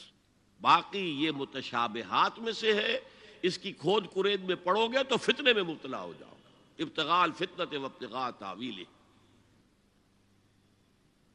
लिहाजा, हदीस में आता है कि रात के आखिरी सातों में अल्लाह समाए दुनिया तक नजूल फरमाते हैं। और फिर निदा लगती है हल मिन साइलिन फौतियाहू है कोई सवाल करने वाला, मांगने वाला कि मैं उसे दूँ? हल मिन मुस्तकफिर फौफिर लहू। है कोई गुनाहों की माफ़ी चाहने वाला कि मैं उसे माफ़ कर दूँ? हम अंटा गफील सो रहे हम तो माइल बकरम है, कोई साइल ही नहीं। राह दिखलाएँ किसे? रह रवे मंजिल ही नहीं। राह किसे दिखा। अल्लाह के रास्ते पर चलने का फैसला करो। अल्लाह की राह में जिहाद का फैसला करो। फिर अल्लाह रास्ता खोलेगा। वल्लजीना जहादू फीना वो लोग के जो हमारे रास्ते में जिहाद करें, मेहनत करें, मुशक्कतें करें, हम लाजिमन उन पर अपने रास्ते खोलते चले जाएँगे तो दुआ, शिरक फिर दुआ। मांगो सिर्फ़ अल्लाह से अल्लाह से अल्लाह से। वो चाहे किसी फरिश्ते के ज़रिए, चाहे किसी फौत शुदा वलीउल्लाह की रूह के ज़रिए से, चाहे किसी को भी नहीं, बराह रास्त अपने हुक्म से, उसकी तो कुदरत है जो चाहे करे, कुन फयकून। वो जैसे भी हो, वो आपकी ज़रूरत पूरी करेगा। वही है जो कि मुश्किलात को हल करने वाला है। वही है कि रिस्क देने वाला है। वही है जो मर्ज से शिफा देने वाला है। पुकारो उसी को, मांगो उसी से। अब आइए, कुछ मरासिम अबूदियत होते हैं। मरासिम रस्म कहते हैं किसी चीज़ की जाहरी शक्ल को। रह गई रस्म अजा रूह बिलाली न रही। फलसफा रह गया तलकीन गजाली न रही। ये कुरान का भी हम इसे रस्मुल खत कहते हैं, रस्मुल खत। और ये हज़रत उस्मान के ज़माने में फाइनल हुआ है कि ये इस तरीके से लिखा जाए। तो अबदियत के इजहार के लिए कुछ रसूमात हैं, जिसमें से एक पर गुफ्तु हो चुकी है, कनूत। बलकान तरीन बलकान तात। ये जो है अल्लाह के हुजूर में, चाहे हाथ बांधे, चाहे हाथ खुले हो, लेकिन ज़रा झुक कर, गर्दन में खम करके खड़े होना। ये नमाज़ के अंदर जो कनूत है, ये कनूत है। ये भी अपनी आजजी का इजहार है इज्ज और तजल्लुल। वो जो इब्न कय्यम की मैंने डेफिनेशन आपको बताई अल इबादत तजबा असलैन गायत अलहब व गायत जुल्ल वल खजूर हद दर्जे में अल्लाह के सामने बिछ जाना, झुक जाना, गिर जाना। रुकू, सजदा अल्लाह के सिवा किसी के लिए नहीं। और इस मामले में दीन मोहम्मदी जो अपनी तकमील को पहुँच गया अलियम अकमल तो लकुम दीन अकुम वतमम तो अलकुम नमती व रज़ी तो लकुम इस्लाम दीना। आ हुजूर की बेसत से कबल। सजद ताजीमी जायज़ था। किसी शख्स की ताजीम के लिए, उसकी इज़्ज़त के लिए उसके सामने सजदा करना जायज़ हज़रत यूसुफ के सामने उनके वालदेन और ग्यारह भाई सजदे में गिर गए। बचपन में ख्वाब देखा था और चालीस पचास साल बाद उसकी ताबीर बिलफेल एक इस वाक़े के तौर पर सामने आ गई। सजदा करना, झुकना, सजदा करना यह जायज़ था सजदा ताजीमी हुजूर पर शरीयत मुकम्मल, तोहीद मुकम्मल, अब हर नौ का सजदा हराम मुतलक है, सिवाय अल्लाह के किसी को। हमारे मुसलमानों ने भी अपने दौरे मलूकियत में सजदा ताजीमी शुरू करा, अदालत के अंदर। बादशाह के दरबार में जा रहे तो सजदा, सर झुकाकर, रुकू की हालत में। या आपके पड़ोस में जो हैदराबाद की रियासत थी, सलाम कैसे करते थे? कितने झुकते थे? और फिर वो झुककर वो सलाम हो रहे।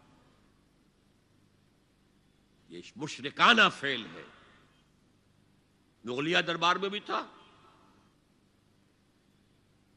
शेख अहमद सरहंदी रहमत ने कहा, गलत है, हराम है, जायज़ नहीं। दरबार में शिकायत पहुँच गई। आखिर मुखबरी करने वाले भी थे, हासिद भी थे। वबिन शर्र हासिद हसद। तलबी हो गई, बुलाया गया। दरबार में हाजिरी। और ऐसा एहतमाम किया गया कि जब हज़रत मुजद्दिद आगे आए बादशाह तक जाने के लिए तो दरमियान में एक दीवार से हाइल करके उसमें खिड़की खोल दी कि इसमें से झुककर गुजरेंगे ना तो रुकू किसी दर्जे में तो हो जाएगा। रुकू भी सजदे ही की एक शक्ल है, सजदे का हाफ़ कह लीजिए, लेकिन यह कि जब आयात सजदा आती है कुरान मजीद में तो आम नमाजों में मैं देखता हूँ कि वो आयात सजदा वाली आयात पढ़ी नहीं जाती, हालाँकि उनकी एक खास कैफियत है। तरावी में तो पढ़ी जाती है, लेकिन पहले बता देते हैं कि ये दूसरी रकत में या पहली रकत में सजदा आ रहा है तो लोग तैयार होते हैं। लेकिन रुकू भी अगर फ़ौरन हो जाए, आयत सजदा के बाद तो उससे भी उस सजदे का हक अदा हो जाता। बहरहाल, हज़रत शेख रहमतुल्लाह अलैह दरबार में आए तो उस खिड़की में से पहले पाँव गुजारे, फिर अपना सर निकाला। फिर जेल में डाल दिए गए डाल दिए गए कोई परवाह नहीं। हाजिर हुआ मैं शेख मुजद्दिद की लहत पर। वो खाक के है जेर फलक मतला अनवार। गर्दन न झुकी जिसकी जहांगीर के आगे। जिसके नफस गर्म से है गर्मी अहरार। वो हिंद में सरमाया मिल्लत का निगहबां अल्लाह ने बर वक्त किया जिसको खबरदार। दीन इलाही, दीन मोहम्मदी के खात्मे का ऐलान था। अब बड़े बड़े मौलवियों ने ये अकबर को सबक पढ़ाया था। बड़े मौलवी, दरबारी मौलवी। उन्होंने सबक पढ़ाया था। अल्लाह का एक दिन एक हज़ार बरस का होता है। और अल्लाह का हर मामला एक हज़ार साल तक होता है। अब एक हज़ार साल हो गए, मोहम्मद की रिसालत को उनकी रिसालत का दौर खत्म, सल्लल्लाहु अलैहि वसल्लम। अब दूसरा हज़ार साल, इसीलिए अल्फ सानी कहते हैं ना, अल्फ हज़ार को कहते हैं, अल्फ सानी। ये दूसरा हजारवा साल जो शुरू हो गया है, इसमें एक नए दीन की ज़रूरत है, वो दीन अकबरी है, दीन इलाही है। और दीन इलाही क्या था? ये एक बहुत बड़ी सियासी तदबीर थी असल में, बहुत बड़ी सियासी तदबीर। और उसका जहूर बाद में भी हुआ है हिंदुस्तान की सरजमीन में। वो ये कि हिंदुस्तान की तरक्की में जो चीज़ सबसे बड़ी रुकावट है, वो मजहबी इख्तलाफात है। लिहाजा ऐसा करो, सारे मजाहिब जो हैं उसे हावन दस्ते में डालो कूट कूट के कूट कूट के चूरा चूरा करके बनाओ सफूफ, और ये मज़हब सबका हो जाए तो मजहबी इख्तलाफात खत्म हो जाएँगे। दूसरी बात उनकी समझ में यह आ गई कि असल में इख्तलाफ रिसालत और शरीयत की बुनियाद पर होते हैं। लिहाजा दीन इलाही, बस खुदा को मानो। बस रिसालत वगैरह को छोड़ो। खुदा तो सबका रब है, उसे आप परमात्मा कह ले, महादेव कह ले, जो चाहे कह ले, अल्लाह कह ले, राम कह ले। रहमान, अय्यम्मा तदू फलहुल कुरान कहता है, तुम अल्लाह कहकर पुकार लो या रहमान कहकर पुकार लो, जिसको भी तुम पुकार रहे हो, ये जान लो। कि तमाम अच्छे नाम उसी के हैं। ये फलसफा था, बहुत गहरा। वो जाहिल था, अनपढ़ था, लेकिन बहुत बड़ा सियासतदान था। अकबर, इसमें कोई शक नहीं। लेकिन यह कि अगर एक हुकूमत और जो सबसे बड़ा मुगल आज़म जिसको कहते हैं, उसके जमाने में मुसलमाना ने हिंद जो है, सियासी एतबार से अपने उरूज पर थे। लेकिन दीनी एतबार से पाताल का मामला आ गया था। दीन मोहम्मदी खत्म। एक हज़ार साल का एक दिन है और वो खत्म हो चुका। अल्लाह ने उठाया मुजद अल्फसानी रहमत और उनकी दरवेशाना मसाई के ज़रिए से। अब देखिए, उस जमाने में तसव्वुफ के ज़रिए से सबसे बड़ा शिरक आ रहा था। वहदतुल वजूद की ऐसी ताबीरात हो रही थी जो हमाऊस्त बन गई थी। हमाऊस्त और वहदतुल वजूद के दरमियान तो ज़मीन आसमान का फ़र्क है। हमाऊस्त में कायनात हकीकी है, खुदा इसमें हल हो चुका है, इसके अंदर ज़ाहिर हो गया। और वादतुल वजूद में वजूद हकीकी सिर्फ़ अल्लाह का, इस कायनात का वजूद कोई है ही नहीं हकीकत में। लेकिन यह खत्म हो रहा था। इस पहलू से मुजद्दिद, अल्फसानी के मुजद आज़म को अल्लाह ने खड़ा किया, शेख अहमद। हज़रत उमर की औलाद से थे, फारूकी थे, शाह वलीउल्ला भी फारूकी थे। लगे फारूकियम, कहते हैं, शेख अहमद सदी मेरी फारूकी रग फड़कती है इस पर। उसके नतीजे में वो दीन इलाही का खात्मा हुआ। बाद में हमारे यहाँ ये आया है हिंदुस्तान में ब्रह्मु समाज, ब्रह्मा, ब्रह्मू समाज। और गांधी जी भी इसी फलसफे के कायल थे, वहादत अदियान के। और ये सियासी एतबार से बहुत ऊँची जहनी सतह की गमबाजी करने वाली बात है कि हिंदुस्तान के अंदर के ये मजहबी इख्तलाफात को अगर हम किसी तरह खरल करके, ख़त्म कर दें हावन दस्ता में डाल के कर दें तो फिर ये कि यहाँ तरक्की ही तरक्की है बहरहाल, सजदा, गर्दन न झुकी जिसकी जहांगीर के आगे, जिसके नफस गर्म से है गर्मी आहरार वो हिंद में सरमाया मिल्लत का निगहबां अल्लाह ने बर वक्त किया जिसको खबरदार। तो हमने शिरक फिल इबादत में पहले बात की, शिरक फिल इतात इनफरादी सतह पर नफ्स, मबूद इज्तमाही सतह पर अवाम की हाकमियत, बदतरीन शिरक इस दौर का। अजीम तरीन शिरक। इतने बड़े पैमाने का शिरक कभी नहीं हुआ दुनिया में। उसके बाद शिरक फिल मोहब्बत, माल की मोहब्बत तैस अब्दुद्दीनार अब्दुद्दरहम, वतन की मोहब्बत या किसी और शय की मोहब्बत। अगर वो अल्लाह की मोहब्बत के बराबर भी आ जाए बढ़ जाए तो, तो और भी बड़ी बात कहनी पड़ेगी लेकिन हमारे पास शिरक से ऊपर की इस्तेलाह कोई नहीं। फिर शिरक दुआ। अल्लाह के सिवा किसी और से हाजत रवाई के लिए मुश्किल कुशाई के लिए पुकारना किसी। फिर शिरक फिर मरासिम उबूदिया। कनूत है रुकू है सुजूद है। ये जुल्वल खुजू की किसी के सामने झुक जाने की एक अलामत है सिंबल है। अब आखिरी है इसमें, इखलास, और इखलास की जिद क्या है? रियाकारी।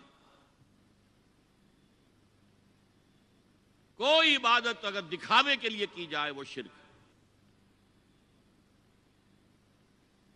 ये शिरक खफी कहलाता है। माल की मोहब्बत का शिरक भी शिरक खफी है। नफ्स की इतात का शिरक भी शिरक खफी है। और यह सबसे खफी शिरक है। हुजूर ने फरमाया सल्लल्लाहु अलैहि वसल्लम, मन सल्ला युराई फकत अशरका वमन सामा युराई फकत अशरका वमन तसद्दका युराई फकत अशरका। जिसने दिखाने के लिए नमाज़ पढ़ी, उसने शिरक कर लिया। जिसने दिखावे के लिए रोजा रखा, उसने शिरक कर लिया। जिसने दिखावे के लिए खैरात की सदकात दिए, वो शिरक कर चुका। कद कद अशरका कद अशरका, ये अरबी के मिजाज से वाकफियत हो, फेले माजी पर कद जो है तो वो परफेक्ट टेंस बन जाता है। कर चुका, वो शिरक में मुलविस हो चुका। मन सल्ला युराई फकद अशरका मन सामा युराई फकद अशरका वमन तसद्दा का युराई फकद अशरका। और तजिया करके यहाँ तक बताया कि अगर कोई शख्स नमाज़ पढ़ रहा हो और जब वो ये देखे कि कोई उसे देख रहा है तो अपने सजदे को तवील कर दे तो ये शिरक है। फ़र्ज़ कीजिए पाँच सेकंड का सजदा वो कर रहा था, अब उसने सात सेकंड का किया है। ये दो सेकंड किसके लिए है? इस एक सजदे के दो मसजूद हो गए। वो पाँच सेकंड का सजदा तो अल्लाह के लिए, दो उसके लिए शिरक हो गए एक और बात फरमाई सल्लल्लाहु अलैहि वसल्लम, शिरक खफी को पहचानना और देखना उतना ही मुश्किल है, जितना के किसी स्याह शब में, तारीख रात में, किसी स्याह पत्थर पर चलने वाली स्याह च्यूटी को देखना मुश्किल है। तशबी का बलागत और फसाद की इंतहा है, जैसे मैंने अर्ज़ किया था कि एक जोड़े की दो जूतियों के माबेन जो मुशाबहत है, उम्मत मुस्लिमा और सबका उम्मत बनी इसराइल की उनके ऊपर जो हालात वारिद हुए, उनमें वही मुशाबह तारीख शब है स्या पत्थर है, उस पर स्या चिवटी रींग रही है, जितना उसको देखना मुश्किल है, उतना ही शिरके खफी को पहचानना किधर किधर से आप पर हमलावर हो जाएगा किधर किधर से आकर आपकी इबादत में, आपकी तोहीद में नकब लगाएगा, इसका आपको अंदाज़ा हो नहीं सकता। बड़ा मुश्किल है। बहुत ज़्यादा चौकस रहने की ज़रूरत है। और इसका इलाज बताया गया है खास तौर पर इबादत के जिमन में, कि कुछ ना कुछ इबादत नफल भी की जाए और नफल इबादत इस तौर से की जाए कि किसी को पता ना चले। अब हमारा हाल ये हो गया है कि सारी, अगर कोई ईशा की सत्रह रकतें पढ़ता है, सबकी सब मस्जिद में पढ़ता हालाँकि साहबा के दौर में मस्जिद थी, फराइज की अदायगी बाकी जाकर नमाज़ घर में पढ़ोगे, वो अफजल है। और नवाफिल तो खास तौर पर, अगर किसी को तहजद की तोफीक हो गई है तो किसी ना किसी तरह ढंडोरा पीटेगा। उसे जी क्या करें, बस रात को जागना होता है तो तबीयत जो है बड़ी भारी रहती है। हो गया अपना ढंडोरा पीट दिया। तो इससे तो मर्ज और दो आदशाह हो जाएगा। रियाकारी और बढ़ जाएगी। इसी तरीके से सदकात नाफला फरमाया, ऐसे दो के दाहना हाथ जो कुछ दे, बाएँ हाथ को पता ना चले। किसी को पता ना चले। इससे वो रियाकारी की जड़ें कटती हैं। रियाकारी की जड़ें जो हैं दिल के अंदर से कटती हैं। ये इलाज है रियाकारी का, लेकिन रियाकारी शिरक। अब मैं आखिरी बात पर आ रहा हूँ। आपने सोचा होगा कि इस तजिए के तहत तो हर गुनाह जो है अदना से अदना गुनाह भी शिरक है। फजर की नमाज़ के वक्त अगर उठ के नहीं गए और चादर या कंबल को सीधा करके लेट गए तो ये शिरक है। फिर कौन से गुनाह है जो अल्लाह माफ़ करेगा? ये जो मैंने आयत आपको दो दफ़ा जो आई है, सूरह निसा में सुनाई अल्लाह ताला इसको तो हरगिज नहीं बख्शेगा कि उसके साथ शिरक किया जाए। अलबत्ता उससे कम तर जिस जिसको चाहेगा बख्श दे। तो जान लीजिए, ये जो बारीक तजिया मैंने करके बताया है, ये अपनी जगह सद फ़ीसद दुरुस्त है। लेकिन इनमें जो ये चीज़ें हैं, कोई कोताही हो गई, कोई गुनाह हो गया, कोई शरीयत की मुखालफत हो गई, नफ्स की किसी उस वक्त के दबाव में आकर ये गुनाह शुमार होंगे, अगर ये आपकी तबीयत सानिया ना बन जाए। अगर ये आपकी सेकंड नेचर बन गए तो एक गुनाह भी सारी तबाही लाने के लिए काफ़ी है। अगर आपने डेरे डाल दिए, गलती हो गई, माफ़ी मांगो, तौबा करो इस्तेफार करो, अल्लाह साफ़ कर देगा। नहीं करोगे? तो फिर एक गुनाह पर भी दवाम अगर हो गया और उस गुनाह ने, एक ने भी तुम्हारा अहाता कर लिया तो वो जहन्नम में खुलूद की वईद कुरान में आई है। बला मन कसब सैतन वहात में ही खतीयत का साबुन्नारे हम फिहा खालिदून। क्यों नहीं जिसने कोई एक भी बड़ा गुनाह, छोटा नहीं ये छोटे छोटे गुनाह जो होते रहते हैं, गुनाह कबीरा, लमम जिनको कहा गया है तो उसकी अल्लाह ताला के यहाँ पकड़ नहीं है। बल्कि वज़ू करते हैं तो हाथों के इस तरह के गुनाह, वो धुल जाते हैं, आँखों के गुनाह धुल जाते हैं। गुनाह कबीरा अगर एक भी करिया और मुस्तकिल किया और उस पर डेरे डाल दिए, और वो आपका अहाता कर ले। आज के दौर में सूद का निज़ाम, सूदी कारोबार, वो तो आपका अहाता कर गया। आपके पूरे वजूद का अहाता कर गया भला मन कसब और कसबा कहते हैं, जानबूझ कर करना। एक है, खता से हो गया, गलती से हो गया, वक्ती तौर पर कोई तहरीक ऐसी हो गई, गलत माहौल में बैठे हुए थे, उसके जेर असर कोई आपसे भी गलत हरकत सरजद हो गई। कभी नफ्स का जोश कुछ ऐसा हुआ कि आप मगलूब हो गए। ठीक है इसेंशली वो शिरक है। लेकिन ये शिरक गुनाह के दर्जे में शुमार होगा। अगर आप तोबा कर लेते हैं, रुजू करते हैं इस्तफार करते हैं, अल्लाह बख्शने वाला। लेकिन अगर एक गुनाह कबीरा भी जान बूझ कर इख्तियार कर लिया और उसे मुस्तकिल अपनी ज़िंदगी के अंदर शामिल कर लिया। भला मन कसब सैतन वहात में ही खती अतहू फौलाए का साबुन्नार हम फीहा खालिदून। तो वो फिर जहन्नमी है, आग वाले हैं और उसमें हमेशा हमेश के लिए रहने वाले। शिरक ज़ात के ज़िमन में मैंने अर्ज़ किया था कि सूरा इखलास जाम तरीन उसकी नफी पर है। और शिरक सिफात की कामिल नफी पर आयतुल कुर्सी है। आयतुल कुर्सी एक लंबी आयत, जैसे आयतुल बिर एक लंबी आयत थी। और इसको हजूर ने फरमाया है सैदत आयातिल कुरान, पूरे कुरान मजीद की आयात की सरदार है और ये शिर के सिफात के जिमन में ये शमशीर काते है, शमशीर बुरहान है। अल्लाह ये वही है। अल्लाह अहद, अल्लाह समद, अल अल्लाह ज़िंदा है, लेकिन उसकी ज़िंदगी को अपनी ज़िंदगी पर कयास न करना। तुम्हें खुराक की एहतियाज है, उसे कोई ज़रूरत नहीं। माँ उरीद मिनहुम रिस्किन व माँ उरीद युतमून मुझे कोई एहतियाज नहीं कि मुझे कोई रिस्क पहुंचाएँ। रिस्क दें, मुझे खिलाएँ, मुझे कोई ज़रूरत नहीं। फिर तुम्हारी हयात, नींद, ऊंग, थकान, इन तमाम कमजोरियों के साथ है। वो अलहई है। अपनी जात में खुद ज़िंदा है। हयात उसकी जाती है, किसी और ने अता नहीं की है। हमारी तो मुश्तार है, उम्र दराज मांग के लाए थे चार दिन, दो आरज़ू में कट गए दो इंतज़ार में। और अलकयूम बकिया पूरी कायनात के लिए वही है, उसको थामे हुए ला ताखुद सिनत वला नोम। अलहई हयात कामिल, कि उसको न नींद आती है, न ऊंग आती है।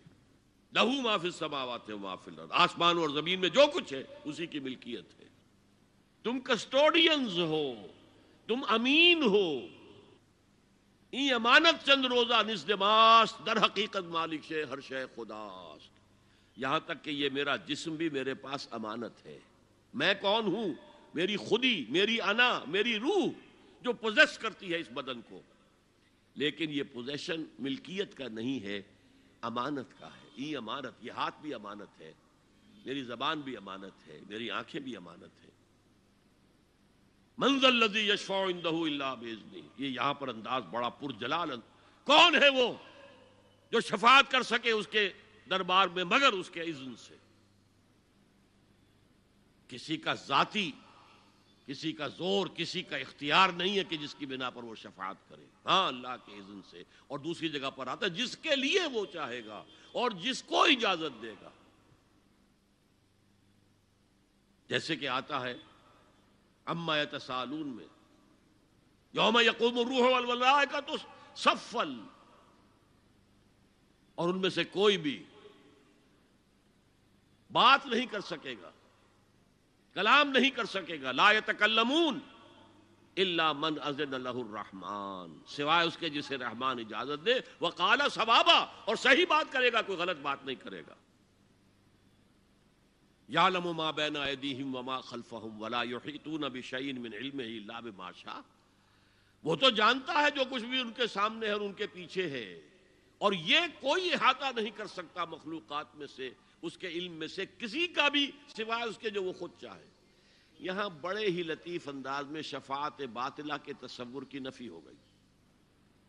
देखिए, आप कहीं जाकर किसी मजिस्ट्रेट से सिफारिश करते हैं तो क्या कहते हैं? अजी ये फ़ाइल के ऊपर जो कुछ है, आप इस पर न जाइए। ये गवाहियाँ वगैरह झूठी हो गई हैं। मैं आपको बताता हूँ असल बात क्या है। अल्लाह के सामने कोई ये कह सकेगा? अल्लाह तेरे इल्म में नहीं है, मेरे इल्म में है। यालम माँ बहन वमा खल्फ वो तो जानता है जो कुछ उनके सामने और जो कुछ उनके पीछे है। वलायु ही तू न ही अल्लाह और इनमें से कोई भी, जैसे कि मैं अभी बता चुका हूँ, बरेलवी मरतब फ़िक्र भी कह रहा है कि अल्लाह का दिया हुआ इल्म है मोहम्मद रसूलुल्लाह का जितना है। ला महदूद नहीं है, महदूद है। कदीम नहीं है, हादिस है। तो जितना अल्लाह चाहता है, जिसके लिए जितना चाहता है, लेकिन उसके इल्म में से अहाता नहीं कर सकता कोई, मगर जो वो चाहे। वसे कुर्सी समावात वल्लर्द उसका इकतदार छाया हुआ है, मस्तौली है, आसमानों पर भी और ज़मीन पर भी। वला यऊद हिफ्स और उसे आजिज नहीं कर सकती उन दोनों की हिफाजत। कयूम वही है, समद वही है, लेकिन उससे कोई तकान तारी नहीं होती आजिज नहीं होता। ये असल में नफी है जो तौरात हाफजे से मुरतब की गई थी। पाँच सौ सतासी में नबूकट नज़र का जो हमला हुआ था, उसमें असल तौरात गुम हो गई, उस वक्त से आज तक वो असल तौरात इनके पास नहीं पीरियड ऑफ़ कैप्टिविटी से वापस आए हैं बैतुल मुकद्दस में साइरस के लुत्फो करम की वजह से, जुलकरनैन के लुत्फो करम की वजह से, फिर याददाश्तों से लोगों ने वो तौरात मुरतब की है। तो उसमें इंसानी फ़िक्र शामिल हो गया। है लिहाजा वहाँ ये लिखा है, अल्लाह ने छह दिनों में आसमान और ज़मीन पैदा किए और सातवें दिन आराम किया। यानी कोई तकान लायक हो गई। कुरान ने कहा, अल्लाह ताला ने फरमाया सूरह काफ में, वलकद खलक समावात वल्लर्द वमा बैनहुमा फ़ी सित्तति अय्यामिन वमा मसना मिन लुगूब. यकीनन हमने आसमान और ज़मीन और जो कुछ उन दोनों के माबेन है, उन्हें छह ही दिनों में पैदा किया, वो बात ठीक है। लेकिन हमें कोई तकान लायक नहीं हुई कि हमें किसी आराम की ज़रूरत होती। ला यऊदहु हिफ्जुहुमा वहु अल अल वही है, सबसे बुलंदो बाला अल उलिया, ताकि अल्लाह का कलमा सबसे सर बुलंद हो जाए और वही असीम है अजमत वाला।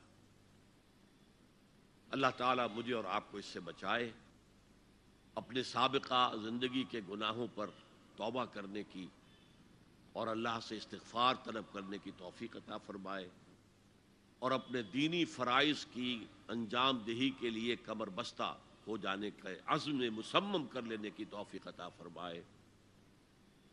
अकूल कौली हाजा वस्तफ़रली वलकुम वलसारमसलमिन अवलमसलमात अब हम सवालात का सेशन शुरू करते हैं। पहला सवाल है, अगर किसी मुसलमान को ये नहीं मालूम हो कि वो जो कर रहा है, वो अमल शिरक है या नहीं तो क्या उसका ये शिरक माफ़ी के काबिल होगा? देखिए, अगरचे कानून तो ये है दुनिया का। Ignorance of law is no excuse कानून से अदम वाकफियत कोई उज्र नहीं है। कानून तो फिर पढ़ता है, लगता है, लागू होता है, आयद होता है। लेकिन अल्लाह के यहाँ ऐसा नहीं है। वो हर शख्स से उसके अपने हालात के एतबार से हिसाब लेगा। किन हालात में पैदा किया गया? क्या जीन्स उसको दिए गए थे?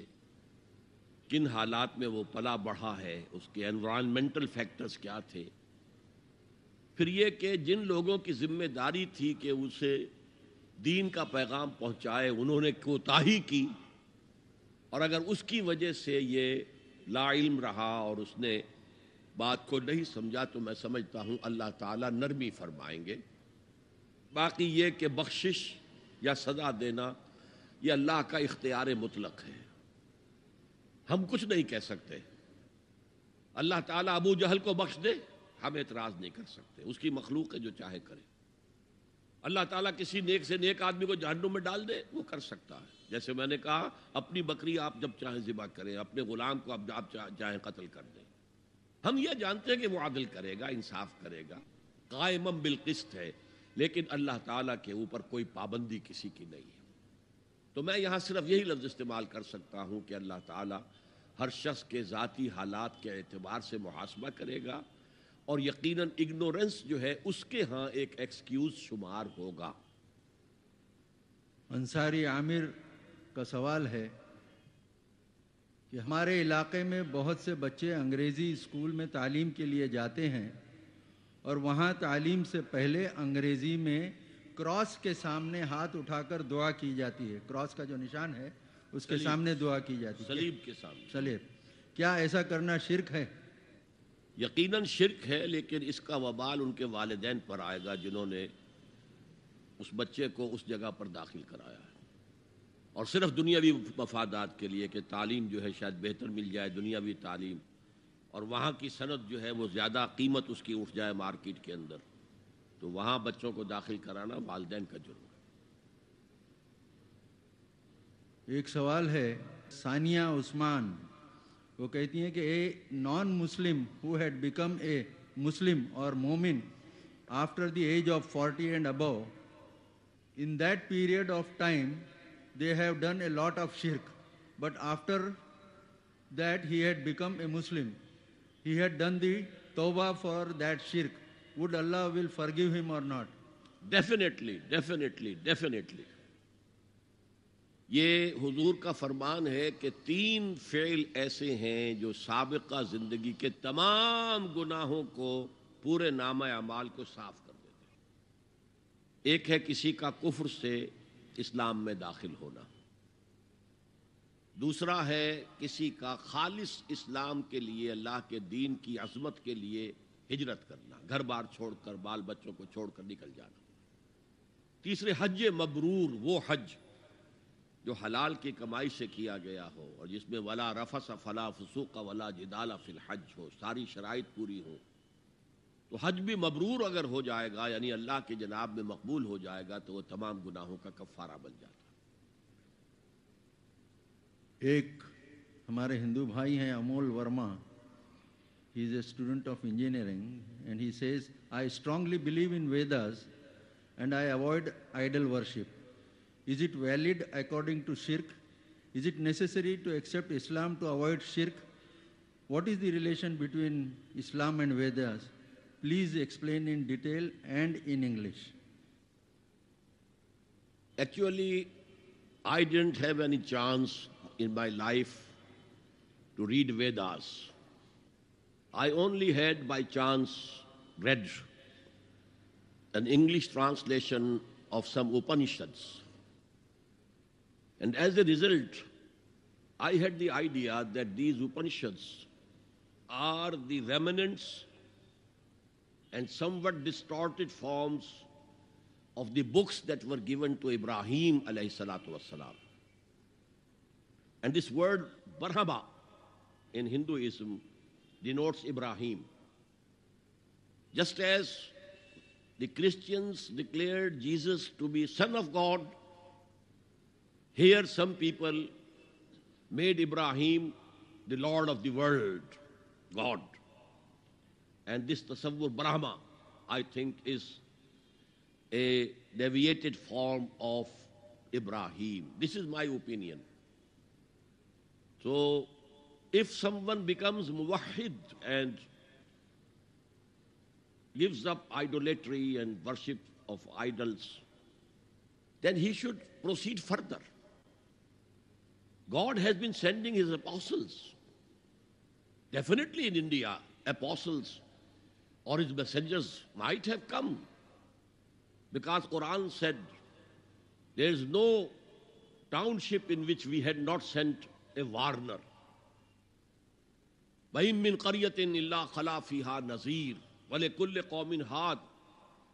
And for every nation there had been leaders and guiders.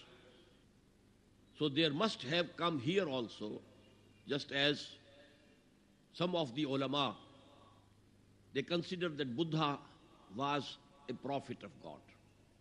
And whatever is attributed to him as his talimat, as his teachings, they have been distorted. So this is the thing, and you should proceed and see the apostles of God, the messengers of God, about whom we consider that Muhammad is the last one. Kalki Avatar. He is Muhammad wasallam who was foretold in your scriptures. So you have to believe in him to have the salvation on the day of judgment. Tasneem Sheikh, ये एक student हैं। वो कहती हैं कि when teacher enters in the classroom student stand stand up in order to give respect is it correct I think this is not wrong actually if the teacher demands and wishes that the boy should stand so he will be accountable He shouldn't command in this way that he should be respected. But if it is a voluntary act and people stand, it's okay. And you don't stand in that way. You know, you are just standing, that's all. Qunut, which I have declared, that that is the part of worship This is standing, bending your head, and the whole body also somewhat bending.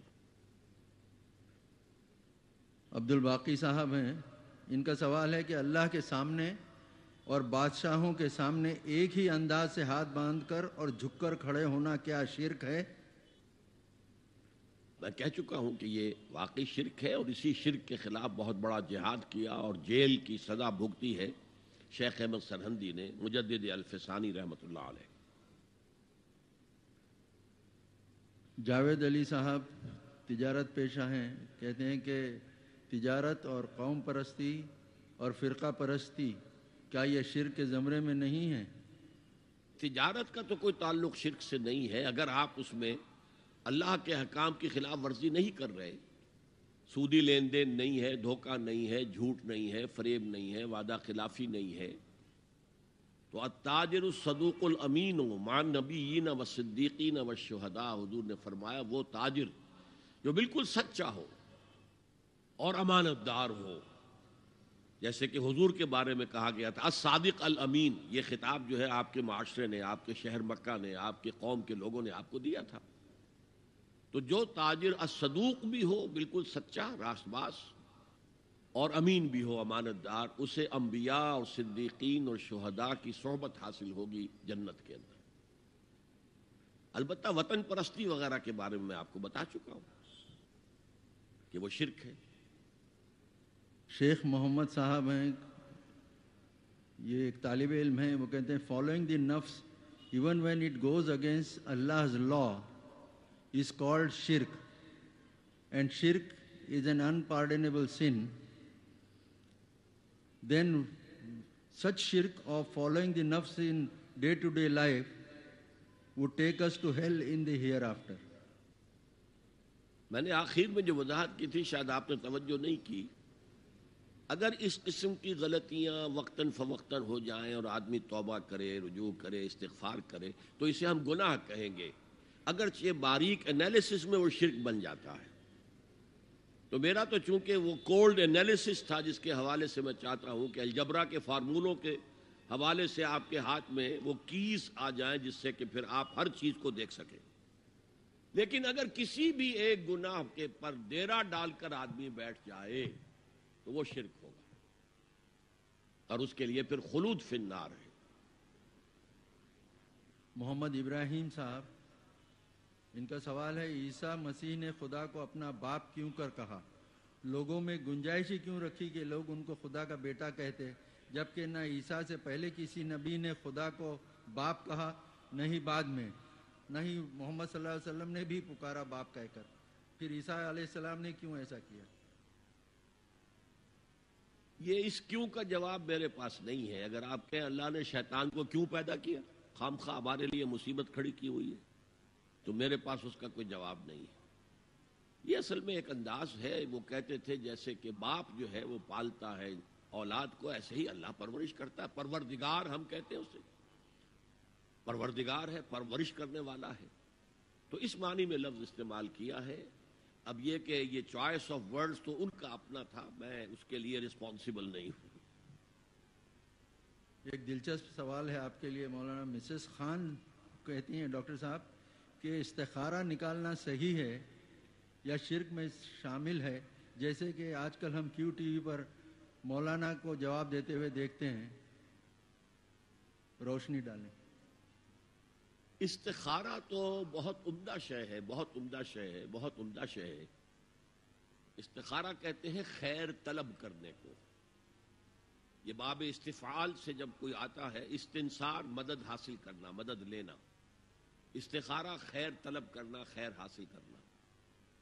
और उसकी एक दुआ जो है, वो ऐसी है कि जो हुजूर ने साहबा कहते हैं, हमें ऐसे सिखाई जैसे कुरान, यानी इतने एहतमाम के साथ वो दुआ सिखाई। वो दुआ पढ़ते रहना ये एक मुस्तकिल गोया के इंसान का इस्तारा होना चाहिए उसके मामूलात में। कोई भी मसला दरपेश है तो आदमी दुआ करे। अल्लाह अस्तखीरों का बिल्म का वास्तदिरों का बेकुदरत का अल्लाह, मैं तेरे इल्म से खैर माँगता हूँ और तेरी जो कुदरत है उसी से कुदरत चाहता हूँ कि मुझे भी कुछ ताकत हासिल हो जाए। अल्लाह तखीरों का बेलमे का व अस्तकदरों का बेकुदरत का व असलों का बिन फजल कल अजीम और माँगता हूँ तुझसे तेरा बहुत बड़ा फजल। अल्लाह इनकुंता तालम हादमरा खैर ली फ़ी दीनी व माशी व आकबत अमरी। अल्लाह, तेरे इल्म में अगर ये काम जो मैं करने चला हूँ या ये रिश्ता जो हम कोई तजवीज कर रहे हैं, अगर तेरे इल्म में ये है कि ये हमारे लिए दीन और दुनिया और आखरत के एतबार से बेहतर है फकदुर होली तो वो हमारे लिए, उसको हमारे लिए आसान कर दे मयसर कर दे। मयसर होली उसे हमारे लिए आसान कर दे। सो मबारिक लीफी और फिर उसमें हमें बरकत आता फरमा। वह इनकुंता तालम अमरा शर्रफी दीनी व माशी वाकबत अमरी। और अगर तेरे इल्म में यह है कि यह काम हमारे लिए शर है, बुराई है, दीन में भी, दुनिया में भी, और आकबत के अखबार से भी। फसरिफ हो अन्ना या अन्नी तो फिर इस काम को मुझसे दूर कर दे। वसरिफनी अन हो और मुझे इससे दूर कर दे, उसे मुझसे दूर कर दे। अल खैर है सुकान सुम अर्दनी बेही। और अल्लाह, खैर जहाँ भी हो तेरे इल्म में, वो हमारे मुकद्दर में कर दे और फिर हमें उसके ऊपर राज़ी भी कर दे। तो ये इस्तारा तो बहुत ही उमदा बात है और ये तो हमें अक्सर मामले में करना चाहिए अलबत् वो इस्तारा निकालना, ये फला से इस्तारा निकाल रहे हैं, फाल निकाल रहे हैं फिर इस्तारे में ये समझना कि फिर ये दुआ मांग कर दो नफल पढ़ के सो जाओ तो ख्वाब में ज़रूर कोई इशारा मिलेगा। इन चीज़ों का कोई सबूत नहीं है, मेरे इल्म की हद तक, अहादीस में या सुन्नत में। बहरहाल, अगर अल्लाह ताला इशारा कर दे, कोई ख्वाब के अंदर तो भी कोई बईद बात तो नहीं है। लेकिन यह कि असल में दुआ इस्तारा जो है, बस वो है असल इस्तारा और वो बहुत उमदा चीज़ है, और वो ईमान के ऐन मुताबिक है। कि अल्लाह हम नहीं जानते, तू जानता। हम शॉर्ट साइटेड हैं। हमें ये चीज़ अच्छी लग रही है, मुझे, हमें पता नहीं शायद इसके पीछे कोई बुरी चीज़ चली आ रही है। कुरान ने कहा है फासा अन तकरहू शयन व वखैरुल्लकुम वासा अन तोहिबू शयन व वशरुल्लकुम वल्लाहुम तुम ला तालमून। हो सकता है तुम किसी चीज़ को बुरा समझो, हालाँकि उसी में तुम्हारा खैर हो। और हो सकता है तुम किसी चीज़ से मोहब्बत करो, हालाँकि उसमें तुम्हारे लिए शर हो। अल्लाह जानता है, तुम नहीं जानते। तो इसी को कहते तफवीजुल अम्र अल्लाह अपना मामला अल्लाह के हवाले कर दो। अल्लाह, तू अगर इसे हमारे लिए खैर समझता है तो आसान कर दे। अगर शर समझता है तो हमसे दूर कर दे। एक अब्दुल्ला साहब हैं, वो कहते हैं कि my friend is running a printing press getting jobs of printing articles और posters for promoting idol worship and शिरक can he do this work please answer in Urdu मेरे ख्याल में ये काम उन्हें नहीं करना चाहिए। बाकी फतवा किसी मौलवी साहब से ले मुफ्ती साहब से। जावेद अंसारी साहब हैं माइक्रोबायोलॉजिस्ट वो कहते हैं to have a name like Ghulam Mohammad Ghulam Rasool Ghulam Hussain Shafaat Hussain etcetera how do you rate this in reference to शिरक गुलाम का लफ्ज जो है अरबी में सिर्फ़ अब्द के लिए नहीं आता। गुलाम लड़के को भी कहते हैं, औलाद को भी कहते हैं, बेटे को भी कहते हैं। अन्ना यकून अली गुलामुन। हज़रत याहिया के वालिद हज़रत जक्रिया ने कहा था, मेरे बेटा कैसे हो जाएगा? वक़्त बलगनी अलकेबर व अमरात आखिर। मैं बूढ़ा हो चुका हूँ बहुत, और मेरी बीवी सारी उम्र बाँध रही है। तो गुलाम बेटे को भी कहते हैं, इस मानी में इसमें कुछ बहुत ज़्यादा सेंसिटिव होने की ज़रूरत नहीं है। वैसे बाज लोग हमारे यहाँ अब्द का लफ्ज भी इस्तेमाल करते हैं, अब्दुल रसूल। मेरा यह ख्याल है कि उससे इज्तनाब करना बेहतर है। मोहम्मद खालिद पायलट हैं। वो पूछ रहे हैं कि इस स्पिरिट या रूह divine in nature please explain when it comes in Quran Allah breath into him that is Adam out of his own spirit does it lead to theory और promote the theory of atma and paramatma बड़ा मुश्किल सवाल आपने कर दिया है। असल में इसके लिए बड़ा उसके इब्तदाई मुकदमात पहले बयान करने पड़ते हैं। मेरे नज़दीक बिग बैंग से जिस यूनिवर्सल क्रिएशन का आगाज़ हुआ है, वो मटेरियल वर्ल्ड है। प्रायर टू बिग बैंग एक और आलम था जो क्रिएट किया गया था, अल्लाह ताला के एक अमरे कुन से। और वो अचानक फ़ौरन पैदा हो गया, इसलिए कि आलम अम्र के अंदर टाइम नहीं लगता। आलम खल्क में तो न मालूम कितने साल लगे हैं ये गैलेक्सीज बनने में और फिर ये सोलर सिस्टम्स बनने में, फिर ज़मीन के ठंडे होने में, फिर बारिश इसके ऊपर बरसने में, न मालूम, हम नहीं कह सकते। लेकिन आलम अम्र में कोई टाइम नहीं होता। आलम अम्र में वो कुन से एक लतीफ नूर पैदा हुआ था और उस नूर से फरिश्तों को बनाया गया। अगरचे कुरान में कहीं ज़िक्र नहीं है। आदम को मिट्टी से बनाया, ये कुरान में है। जिन्नात को आग से बनाया, ये कुरान में है। फरिश्तों को काहे से बनाया, ये कुरान में नहीं। हदीस में है। हज़रत आयशा रज़ी अल्लाह तला से मरवी है। खलक अल्लाह कता बिन नूर। अल्लाह ने फरिश्तों को नूर से पैदा वो नूर। वो नूर ये लाइट नहीं। ये सूरज की लाइट नहीं। वो नूर जो prior to the beginning of the material world world of matter big bang से पहले, उसी वक्त जो है रूहें इंसान की पैदा की गई थी उसी नूर से। तो हमारी रूहें नूरानी हैं। हमारे में से हरेक के अंदर जो रूह है वो नूरानी है। है नूर तजल्ली भी इसी खाक में पिन्हा, गाफिल तो निरा साहिब इदराक नहीं है। और मगरबी फलसफे में इसे डिवाइन स्पार्क कहा जाता है। इंसान के अंदर डिवाइन स्पार्क एक मौजूद है। और उसी रूह के अंदर जो है ये नेकी और बदी का शूर है। वालहमहा फजूरहा व तखवाहा, जिसका मैं बार बार ज़िक्र कर चुका हूँ। इसे कांट ने कहा, the moral law within तो इस एतबार से रूह आदम फूकी गई, उस हयूले के अंदर हो सकता है वो एवोल्यूशन से तैयार हुआ हो हो सकता है कि डायरेक्ट क्रिएशन से तैयार हुआ हो, और उसे अल्लाह ने अपनी रूह में से करार दिया। इसलिए कि वो रूह जो है अल्लाह के अमरे कुन का पहला जहूर था। लिहाजा वो अल्लाह की ज़ात के साथ एक नस्बत रखता था। डॉक्टर साहब मेरे इस सवाल पर यानी किसी पंडित या फाल खोलने वाले बाबा को हाथ दिखाने वाले के पास जाने वाली बिदत और बदशगुनी की बिदत पर रोशनी डालिए। एन नवाजिश होगी ताकि लोगों की भी इसलाह हो। इन्हें मासीत करार दिया गया ये गुनाह है।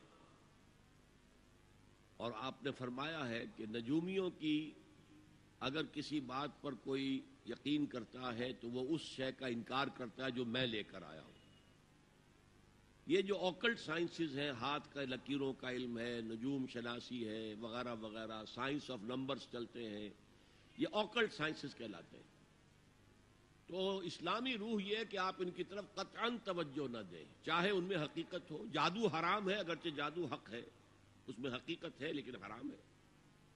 इसलिए ये चीज़ें हराम हैं इनके अंदर मुलविस होना इस्लामी रूह के और ईमान के तकाजे के मुनाफी है। अल्लाह ताला ने हुकूकुल इबाद की अदायगी बंदों पर फ़र्ज़ की है। अगर बंदा हुकूकुल इबाद ना अदा करता हो तो क्या वो भी शिरक है? शिरक नहीं है गुनाह है कोताही है पकड़ा जाएगा। लेकिन यह कि ये अब अगर वो किस वजह से नहीं कर रहा, दौलत की, मोहब्बत की वजह से नहीं कर रहा तो वो शिरक हो जाएगा, लेकिन शिरक खफी होगा, उसके ऊपर किसी मुफ्ती का फतवा नहीं चल सकता। इसके साथ आज की इस मजलिस का अख्ताम का मैं ऐलान करता हूँ।